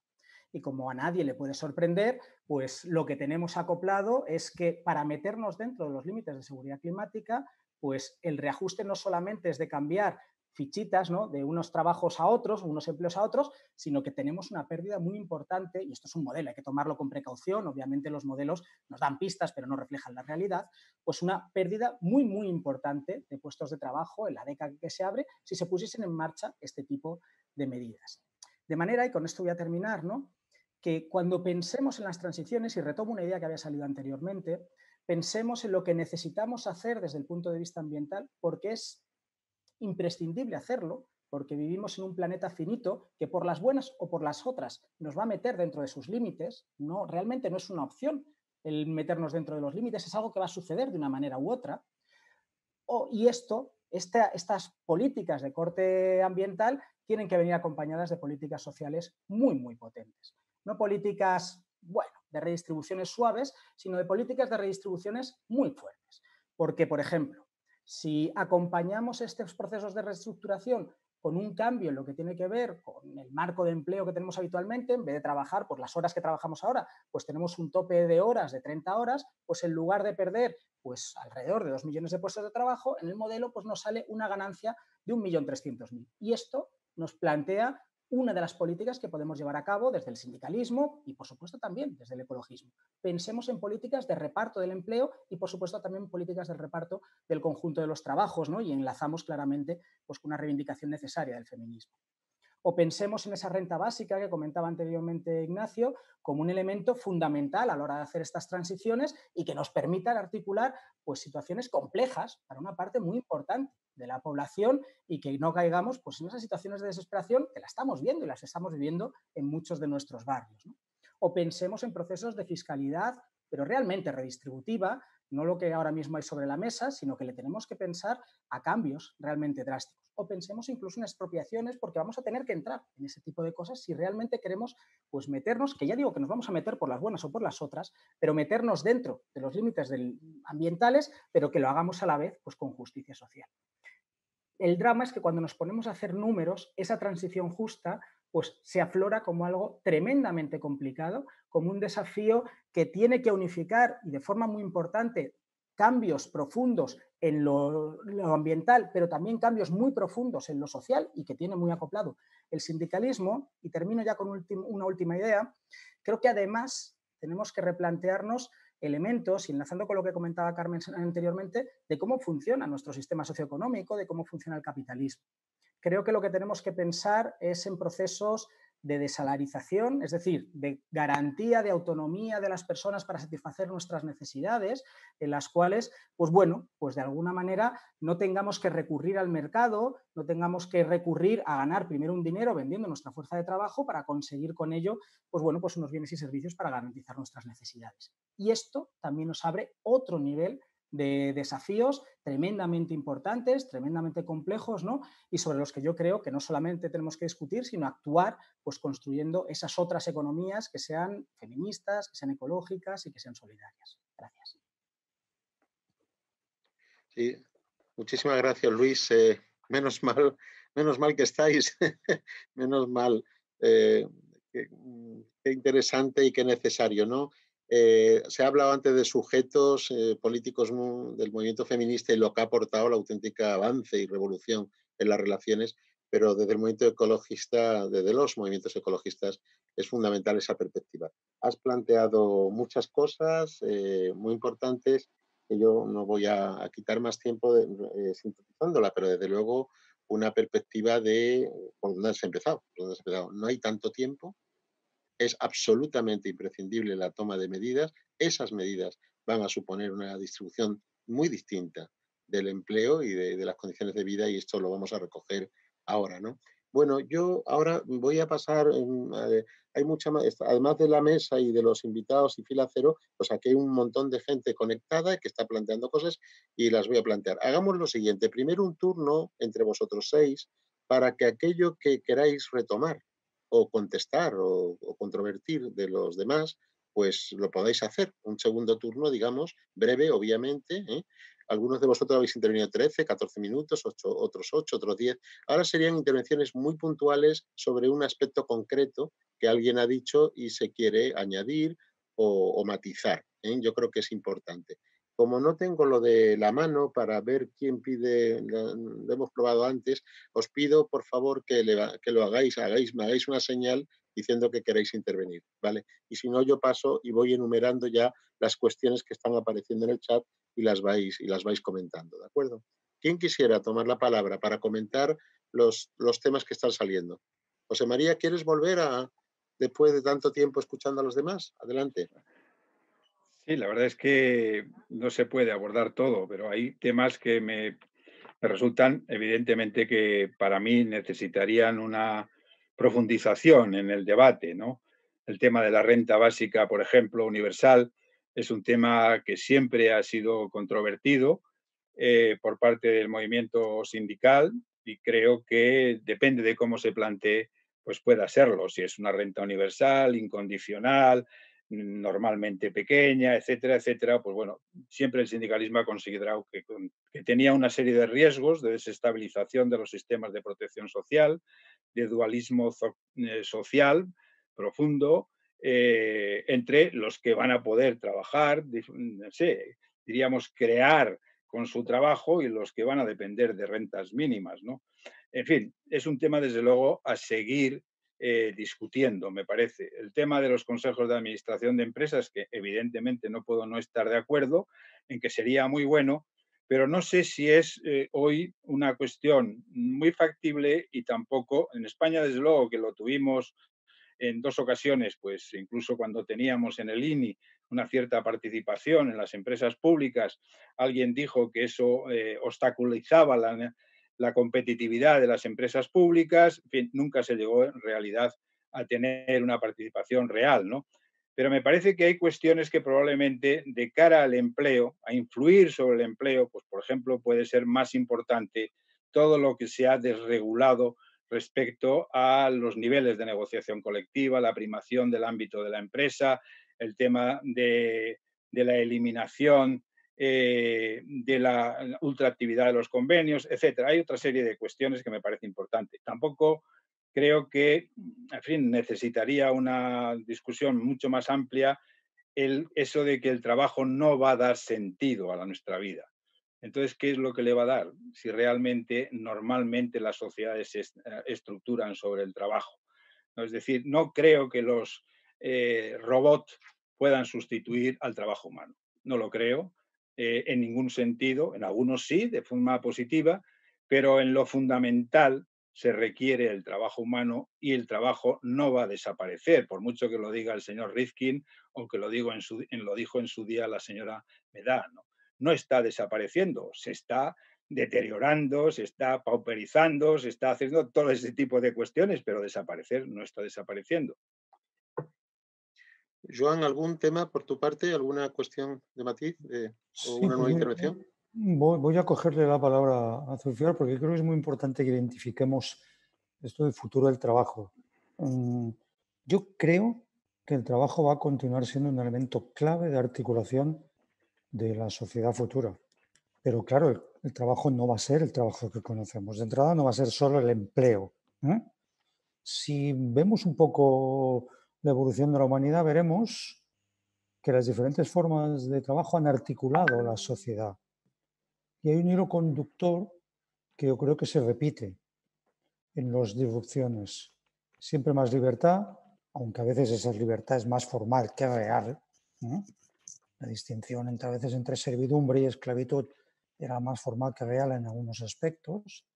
Siempre menos tiempo dedicado al empleo, a conseguir la subsistencia y más tiempo dedicado a los cuidados, eso continúa siendo así, y siempre más incorporación y dominio de la, de la tecnología al servicio de todos. Creo que eso hay tres eh, líneas conductores que se repiten y me atrevo a decir que el trabajo del futuro va a ser eh, en esos términos, con lo cual yo diría que sí queda margen y muy probablemente lo estemos construyendo en estos momentos. Lo que pasa es que como decía Fontana, Josep Fontana, eh, los hombres, se refería también a las mujeres, construimos el futuro, pero no sabemos el futuro que estamos construyendo, ¿no? Desde esa perspectiva, yo creo que está, está ahí situado y está clarísimo que eh, eso es así. Una última cosa en relación. Yo debo reconocer que me cuesta mucho imaginar el futuro, a pesar de que hago muchos esfuerzos. ¿Por qué? Porque cada vez que pienso me doy cuenta, mientras estoy pensando, que estoy imaginando el futuro con gafas de, pasado y con, palabras también del pasado. ¿no? Entonces, ¿cómo, ¿cómo democratizar la economía? Y me veo, bueno, buscando formas de cooperativismo, principios del siglo XX. Buscando formas de gestión, cogestión, la cogestión socialdemócrata, o cosas, y de golpe y porrazo me viene un eh, em, tema del poder brutal de la deuda, del desequilibrio brutal entre deudores y acreedores, sobre los cuales se construye gran parte del dominio de esta sociedad capitalista y que destroza una parte de la soberanía de los propios estados. O de golpe de aparece encima de la mesa el poder que están adquiriendo cada vez más, eh, el control de los datos, ¿no? el business data.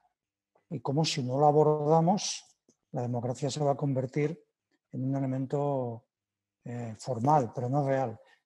Os digo porque, porque yo creo que nuestra dificultad consiste en, bueno, al menos la mía, ¿eh? no, no sé la de los demás, la mía es que cada vez que me pongo a pensar en retos, pienso con los retos que yo conocía o que yo conozco en estos momentos, pero me doy cuenta de que los que tenemos delante son ya otros. ¿Eh? Y en el caso de democracia económica, eso hemos discutido con Ignacio en la plataforma de democracia económica, lo cual no quiere decir eh, renunciar a hacer cosas, eh, sin duda presencia, mayor presencia en las empresas, capitalización de, los ajustes, mayor accionarización desde la perspectiva. Pero, bueno, no sé, igual te has dado más desconcierto que otra cosa, pero eso es lo que me pasa a mí cada vez que pienso. Que, no, me aclaro, vaya. en eso habíamos quedado a hablar desde las perspectivas profundas, personales de cada uno y sabiendo que es un tema muy complejo y que lo estamos abriendo. Eh, son las ocho y media, vamos a dar un tiempo ahora para el chat, pero los demás colegas, Ignacio y los de Filacero, si queréis hacer algún comentario, en, fenomenal. ¿eh? Si queréis así breve, de, a bote de lo que los demás han dicho, pues eh, estupendo. Ignacio, ¿tú querías añadir algo? Carmen, ¿estás por ahí? Ah, vale, dale, dale, Ignacio, por favor. Sí. Es que no, no entra en pantalla. Ignacio, por favor. A ver si sale. Parece que se ha bloqueado ah, mientras tanto. yo sí quería. Venga, Ignacio. está Ignacio, está Ignacio. Venga, perfecto. Que decía que, que, entrando en lo que había dicho antes Zufiaur y también Coscu, ¿no? Eh, efectivamente, hay elementos de contradicción en todo este desarrollo. La renta básica. La renta básica puede estar utilizada para desmontar el estado de bienestar, así de claro. No van a dar una renta básica de mínimos y nos quitan seguridad social y nos quitan sanidad y nos quitan educación y dicen, hemos dado la renta básica. Obviamente, esa perspectiva es una perspectiva que demuestra que es contradictoria y que tenemos que luchar y tenemos que se trata de avanzar, no de retroceder. Pero efectivamente esa, ese riesgo existe. El riesgo de la democracia económica, obviamente, podemos hasta tener empresas perfectamente democratizadas, con los trabajadores eh, decidiendo con la lógica de la dirección y, explotando a los marginados que están fuera de la empresa, digamos, una especie de aristocracia obrera de élite ¿eh? organizada democráticamente, pero en el que todas las subcontratas y todos los que están fuera estuvieron fuera del circuito democrático. Por tanto, obviamente, eso sería otra, otra, otro elemento absolutamente lleno de contradicciones. No, se trata de que cada paso que damos hay que saber efectivamente los retrocesos que puede generar, pero de la democracia económica pasa por decidir qué producir en un momento determinado y eso pasa no solo por decir democracia económica en la empresa, sino pasa por, de alguna forma, concertación de políticas es mucho más amplio que solo la democracia económica. Pero la democracia económica en la empresa es fundamental y volviendo a la situación de crisis, pues hombre, yo creo que ahora mismo, por ejemplo, un dato concreto, esto que decíamos de capitalizar sacrificios, pues si, si me temo que va a haber ajustes, hacia la lógica que veníamos del pasado, los ajustes pueden ser ajustes de empleo, ajustes salariales y gente fuera.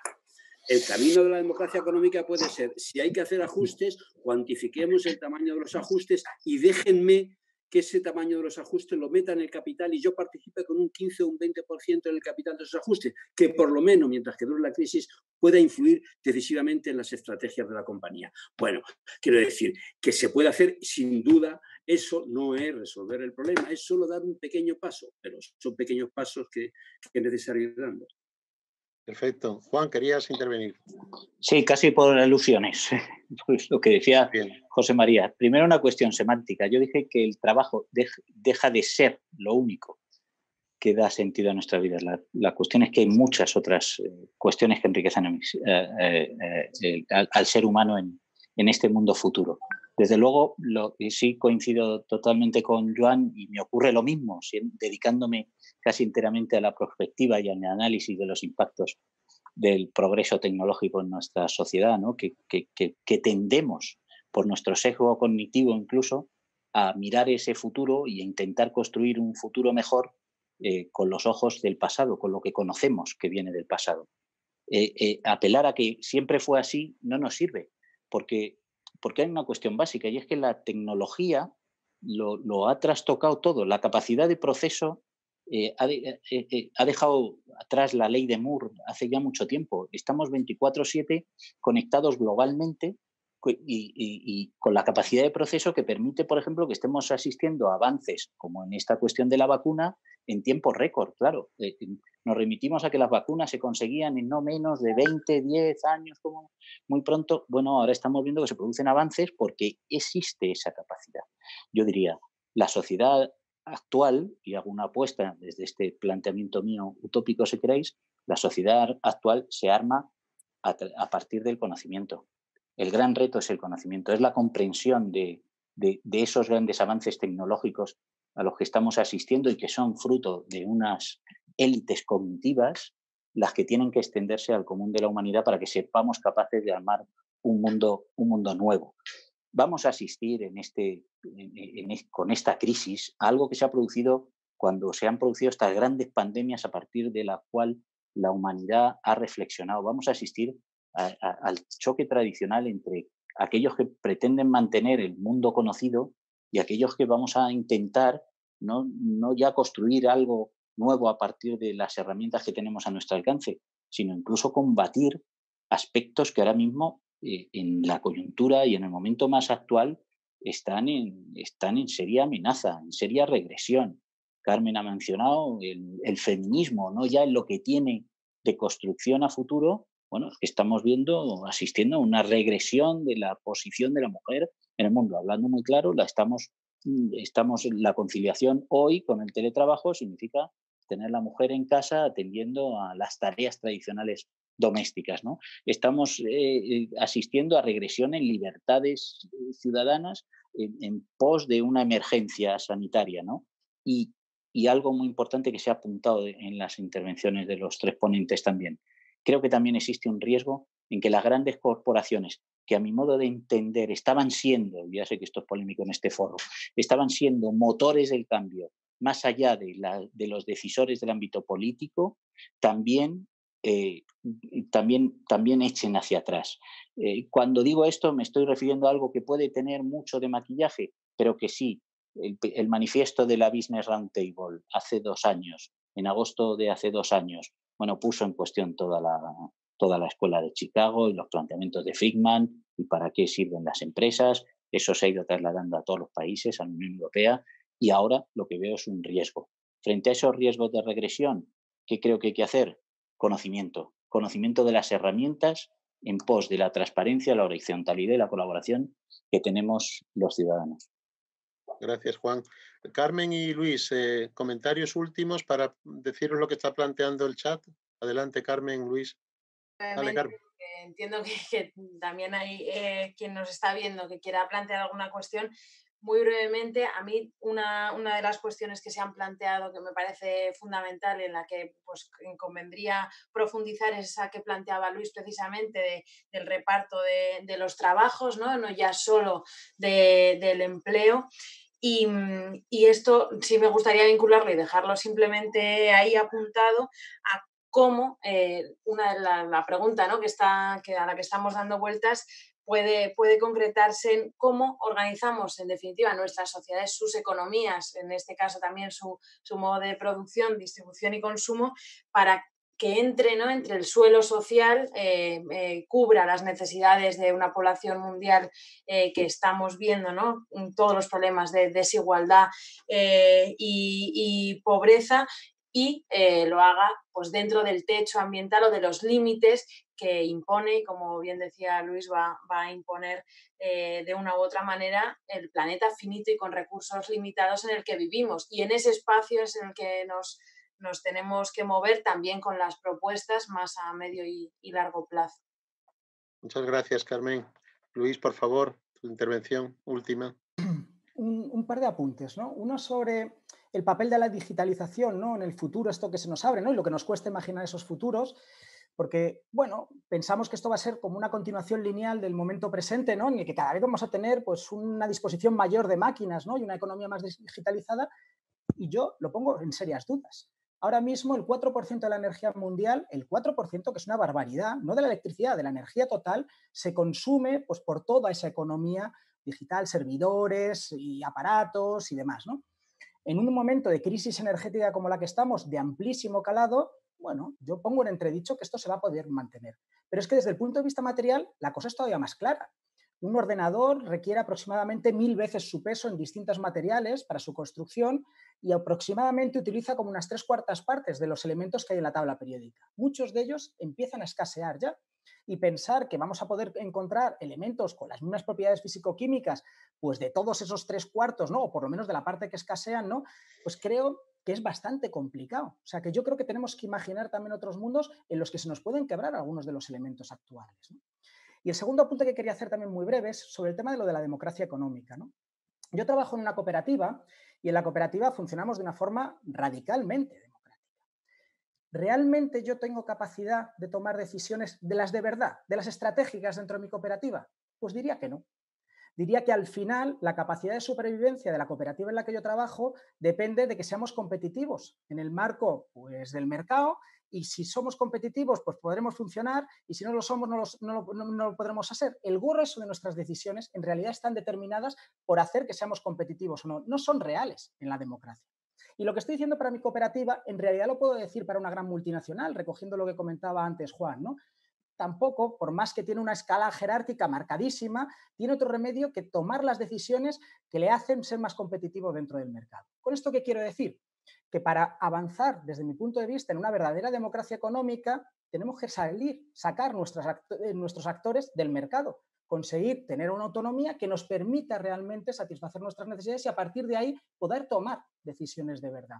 Y esto, esto significa cambios pues mayúsculos, ¿no? En lo que tiene que ver con nuestro orden socioeconómico, mayúsculos en lo que tiene que ver con la organización de nuestras empresas y cómo satisface, pues, el funcionamiento interno y a qué, a qué, para qué sirve, ¿no? Y de alguna manera, ¿qué hacemos? Y este, este planteamiento, si queremos pensar en democracia económica, creo que lo tenemos que tener. De acuerdo. Muchas gracias, Luis. Bueno, vamos a hacer lo siguiente para culminar ya la sesión. Es tarde y haré lo siguiente. Hemos seleccionado cinco de las cuestiones. Las voy a mencionar todas eh, para que mm, las personas sientan presencia con lo que están planteando y luego alguno de vosotros, los que queráis, podéis comentarla. No es obligatorio en el sentido de que eh, quizá no lo expliqué bien al principio. No, aquí no hay un ponente. Yo le pregunto a fulanito. De hecho, lo han hecho muy bien. Nadie pregunta a menganita, a fulanito, no, sino son cosas que están preocupando en la audiencia y que lo, lo, transmito, lo traduzco y entonces vosotros lo podéis retomar brevemente. ¿no? Eh, la primera es sobre el teletrabajo. Son cinco. La primera aborda el teletrabajo. Esta es de Víctor Jofre. Se está negociando la regulación del teletrabajo.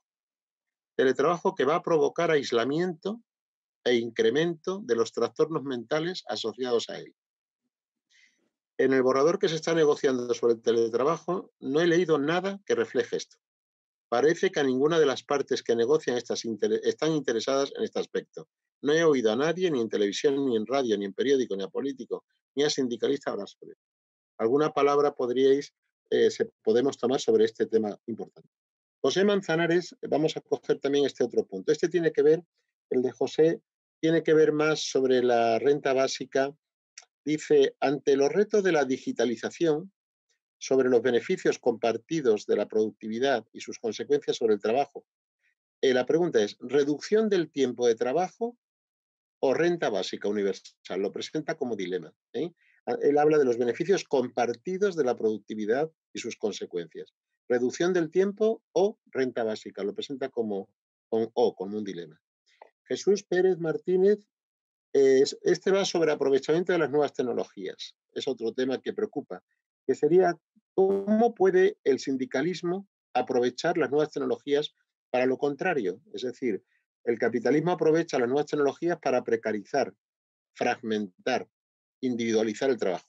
¿Cómo, lo, cómo puede el sindicalismo? Algo de esto han dicho algunos de los, de los invitados, pero en la cuarta es de, de Juan Jimeno, que plantea eh, más bien una sobre el nuevo sindicalismo, etcétera, que habéis planteado, que será importante el trabajo del sindicato, pero habrá que ir a nuevos escenarios, pone, ante todos los cambios de entorno comentados, ¿qué tienen que revisar los sindicatos en su funcionamiento, tácticas, políticas, prioridades? Y luego finalmente nos llega desde La Paz, desde Bolivia, eh, Verónica Pacheco, aprovecho para mandarle un, abrazo, eh, plantea Verónica, mm, es antropóloga y mediadora boliviana, ¿qué sucede en sociedades como la boliviana, donde la mayoría de las personas se encuentran insertas en el mercado informal? ¿Cómo, abordar este tema cuando hay una mayoría en el mercado informal? No es que el mercado informal tenga cierta presencia importante, como es el caso español, sino que es una mayoría. ¿no? Bueno, pues em, no sé si son cinco temas diferentes eh, que hemos seleccionado, hay muchas más cosas. No sé si podríamos hacer algún comentario por parte de alguno de vosotros, más bien comentario, alguna cuestión, que porque son temas importantes. Levantar, si podéis, como ya digo que no tengo la mano. Ah, vale, pues José María, adelante, perfecto. Adelante, brevemente. Realmente todos los temas son, son muy importantes, ¿no? Yo creo que efectivamente el tema del teletrabajo pues se está haciendo aproximaciones, como en casi todo. Y supongo que en la medida en que la práctica vaya señalando temas, pues se pasará, creo, a regulaciones más completas de las que tienen ya bastantes países y las que se han negociado aquí. Es decir, es evidente que eso, eh, en fin, eh, plantea muchos problemas eh, al trabajo y tiene que regularse para que se eliminen.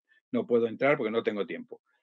Quiero decir, para ser un poquito optimista, que se están haciendo cosas interesantes. Yo de las que conozco hay muchas más, naturalmente, pero, por ejemplo, en, estos momentos se está planteando, y ha, pedido la presidencia alemana, en, el Comité Económico y Social, se ha hecho un dictamen al respecto, el tema de las cadenas de, producción, que afecta evidentemente a actividad internacional. Eh, y en ese sentido se está planteando que haya una diligencia de vida obligatoria. Se está planteando que realmente el tratado vinculante de Naciones Unidas realmente se apruebe y que la Unión Europea lo, lo defienda. Se está hablando de la reducción de jornada. Es decir, el sindicato del metal eh, alemán ha planteado una jornada de cuatro días, de cuatro días de trabajo, una jornada semanal de cuatro días. Vamos, o sea, trabajar cuatro días a la semana. Es decir, reducir, por lo tanto, sustancialmente eh, el tiempo de trabajo. Hay oposición por la parte empresarial, etcétera, etcétera. Hay bastantes, cada vez más acuerdos sindicatos de sindicatos con organizaciones de la sociedad civil. Por ejemplo, en Francia tiene la CFDT, tiene la, la, CGT, con, eh, bueno, pues unos tienen con Greenpeace, con ATTAC, los otros tienen con la fundación de Giló. Hay esto cada vez más en Bélgica, cada vez más en, Canadá, en Estados Unidos, en, en, el Reino Unido, etcétera, etcétera. Es decir, yo creo que sí empieza a haber eh, diríamos, elementos concretos para cambiar las cosas. Por ejemplo, en Francia se están planteando cómo utilizar el dinero que se da a los parados de larga duración para que tengan empleo. Por ejemplo. Es decir, y eso se quiere convertir en una ley, etcétera, etcétera. Es decir, en el tema, y con esto termino, en el tema de, la alerta eh, ecológica. Hay una directiva que se planteó en el 2018 y que se acaba de aprobar el 11 de noviembre, el noviembre del 2019 sobre el tema de cómo se protege a las personas o a los dirigentes sindicales o a quien sea en las empresas que denuncian atentados a los valores y a la regulación de defensa de los derechos humanos en la Unión Europea. No sé exactamente cómo ha terminado eh, esa, esa, esa, directiva, pero se están haciendo cosas y se pueden hacer muchas cosas concretas. De acuerdo. Fenomenal. Gracias por este cierre. ¿Alguno de vosotros, algunos comentarios sobre las cuestiones planteadas? Por favor, Luis, claro que sí. Muy breve, algunos apuntes, ¿no? Eh, sobre el tema del teletrabajo, yo he de reconocer que a, mí, a, mí, me da bastante miedo, porque lo vivimos como una cosa que nos permita liberarnos ¿no? a quienes estamos trabajando, pero en realidad en el contexto que hay, pues de bueno, pues poca fuerza del mundo sindical, a mí me da miedo que lo que signifique es un alargamiento de la jornada laboral, ¿no? Allá en tu casa hasta cualquier momento, ¿no?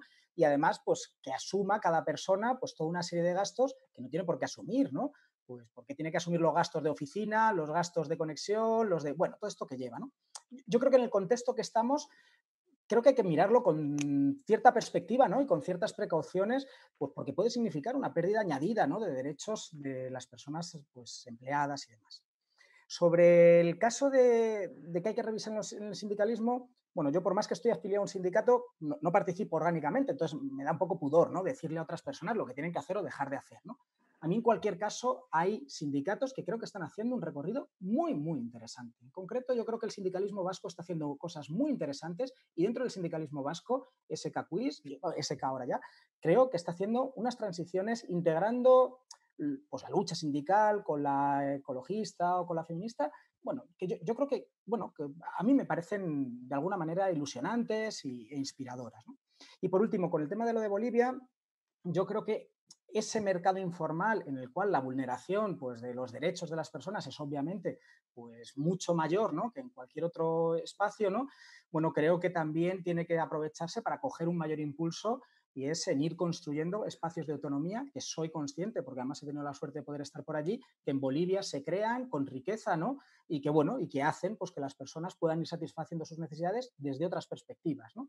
Y yo creo que desde lugares como el Alto, ¿no? Han ido tejiendo pues un, un entramado muy, muy potente que, bueno, pues yo creo que tendríamos que aprender en gran parte desde este lado del Atlántico, ¿no? De muchas de las cosas que se están haciendo allá en dificultades, pues mucho más complicadas de las que tenemos por Muchas gracias, Luis. Sí, sí. Muy bien. ¿Alguna cuestión más que no veo? No es que no veo aquí la acá. No sé si alguien, creo que no. Sí, sí. sí. Adelante, Ignacio. Claro que sí, Ignacio, no te veía. Dale. Sí, no, bueno, es en la línea esto de Bolivia, porque el teletrabajo nos da para mucho, pero em, recuerdo que en el consejo supervisor o de asesoramiento que tenía el dueño de Uber, estaba no solo un antiguo responsable de la competencia de la Unión Europea, sino un ministro de Trabajo, un ministro de Transporte de Perú, ¿Por qué metió Uber a un ministro de Transporte de Perú? Porque el futuro que quería Uber es la desregulación en la economía informal. O sea, la economía informal que hace 15 años era un todavía no tienen Estado y por tanto, digámosle a los latinoamericanos que construyan pacientemente un Estado con nuevos impuestos, hoy la economía informal es ya lo que deseamos y forma parte de las estrategias de las grandes corporaciones. Es, no es ya la desregulación, sino la no norma, absolutamente. Y de hecho, digamos, el, crecimiento de autónomos y la fragmentación del trabajo va hacia lo que quieren hacer de no regulación. La batalla que hay en Europa es frenar cada uno de esos, de esos avances, pero digamos que los compañeros de Bolivia no están en la retaguardia, pueden, desgraciadamente, están intentando marcar un camino de las corporaciones de lo que desean para la sociedad de futuro y, por tanto, también en vanguardia en las alternativas que construir a esa situación. Tiene la palabra Joan, Joan Coscubiela. Gracias, Ignacio. Adelante, Joan. Antes hemos hablado mucho de lo macro y las preguntas nos sitúan en lo micro. Me voy a referir solo a eso, a dos cosas. Una, el teletrabajo. en este momento ya existe un, texto pactado en el ámbito de la concertación en el futuro. Eh, por supuesto, no lo resuelve todo. Yo, como vengo del mundo del derecho, sé que esa especie de mitificación casi de considerado Dios, de que una vez están las cosas en las leyes, pues ya no hay problemas, es una, es una ficción, ¿no? Pero algunas de las cosas que, que planteaban, es decir, eh, creo que sí que aparecen elementos para controlar los problemas que pudiera tener los elementos de salud mental, que los tiene sin duda. Eh, hay, por ejemplo, un elemento que establece el tema de la combinación entre trabajo presencial y trabajo teletrabajo o trabajo a distancia, hay el tema de la voluntariedad, hay también la exigencia de garantía de derechos, eh, de derechos laborales y entre ellos la salud laboral y el tema de salud mental está metido ahí. ¿Significa esa que esa normativa garantiza el tema de salud mental? Por supuesto que no. Pero ha sido un tema que me ha parecido que se identificaba como el tema de salud mental, pero yo creo que tiene un fuerte componente sociológico, y es en qué medida el teletrabajo no produce de nuestras relaciones y por lo tanto dificulta todos los espacios de socialización y al mismo tiempo dificulta todas las alternativas. ¿no? Eso está ahí. Pero tiene algo que ver también con la otra pregunta que es el tema de qué hacer con las tecnologías. Eh, yo, estoy, yo estoy de acuerdo con una cosa. ¿eh?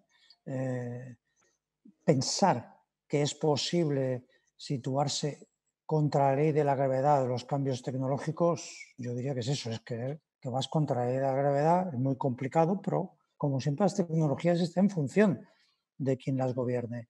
¿Qué se puede hacer? Por ejemplo, a mí me consta que en estos momentos el sindicalismo confederal se está planteando la necesidad de negociar el uso de los algoritmos en las empresas. Los algoritmos son esa expresión que llaman de inteligencia artificial, que ni es inteligencia ni es artificial, y tiene todos los sesgos discriminatorios brutales en control de aeropuerto, en determinación de evaluaciones del sistema educativo de Estados Unidos. Eso lo explica muy bien Gemma Galdón. Pero en el caso, por ejemplo, los procesos de selección, que en este momento se le están encargando a los organismos, son perversos. Entonces, ¿qué puede hacer el sindicalismo en ese tema? Eh, ya sé que no es lo mismo, pero hacer igual que en los años 60. En los años 60, cuando el Fordismo Taylorismo utilizó los métodos y los tiempos para imponer ritmos de trabajo brutales y condicionar una parte del salario de esos métodos y tiempos, el sindicalismo se puso a disputar el control de esos métodos y tiempos. Pasaron bastantes décadas, pero al final se consiguió. Y esos algoritmos tienen algo que ver con una cosa que he comentado antes, que no hemos tratado hoy y que para mí me parece crucial, que es el tema del gobierno de los datos. O damos la, eh, damos la batalla por conseguir que los datos sean considerados bienes comunes y no bienes privados al servicio de muy pocas corporaciones, o la democracia va a ser una entelequia eh, dentro de nada desde la perspectiva. Entonces, desde el ámbito sindical, eh, ¿cómo se disputan los algoritmos? Necesitamos una normativa y ahí viene el problema de fondo. ¿Quién hace una normativa para regular realidades globales? Los estados nacionales es complicado. Ahí es donde yo creo que la Unión Europea podía jugar algún tipo de pared necesitamos una normativa que establezca el carácter de bienes comunes de esos datos, que en relación a los algoritmos obliga a establecer un registro de esos algoritmos y que determine un control social y de las partes interesadas en la aplicación de esos algoritmos.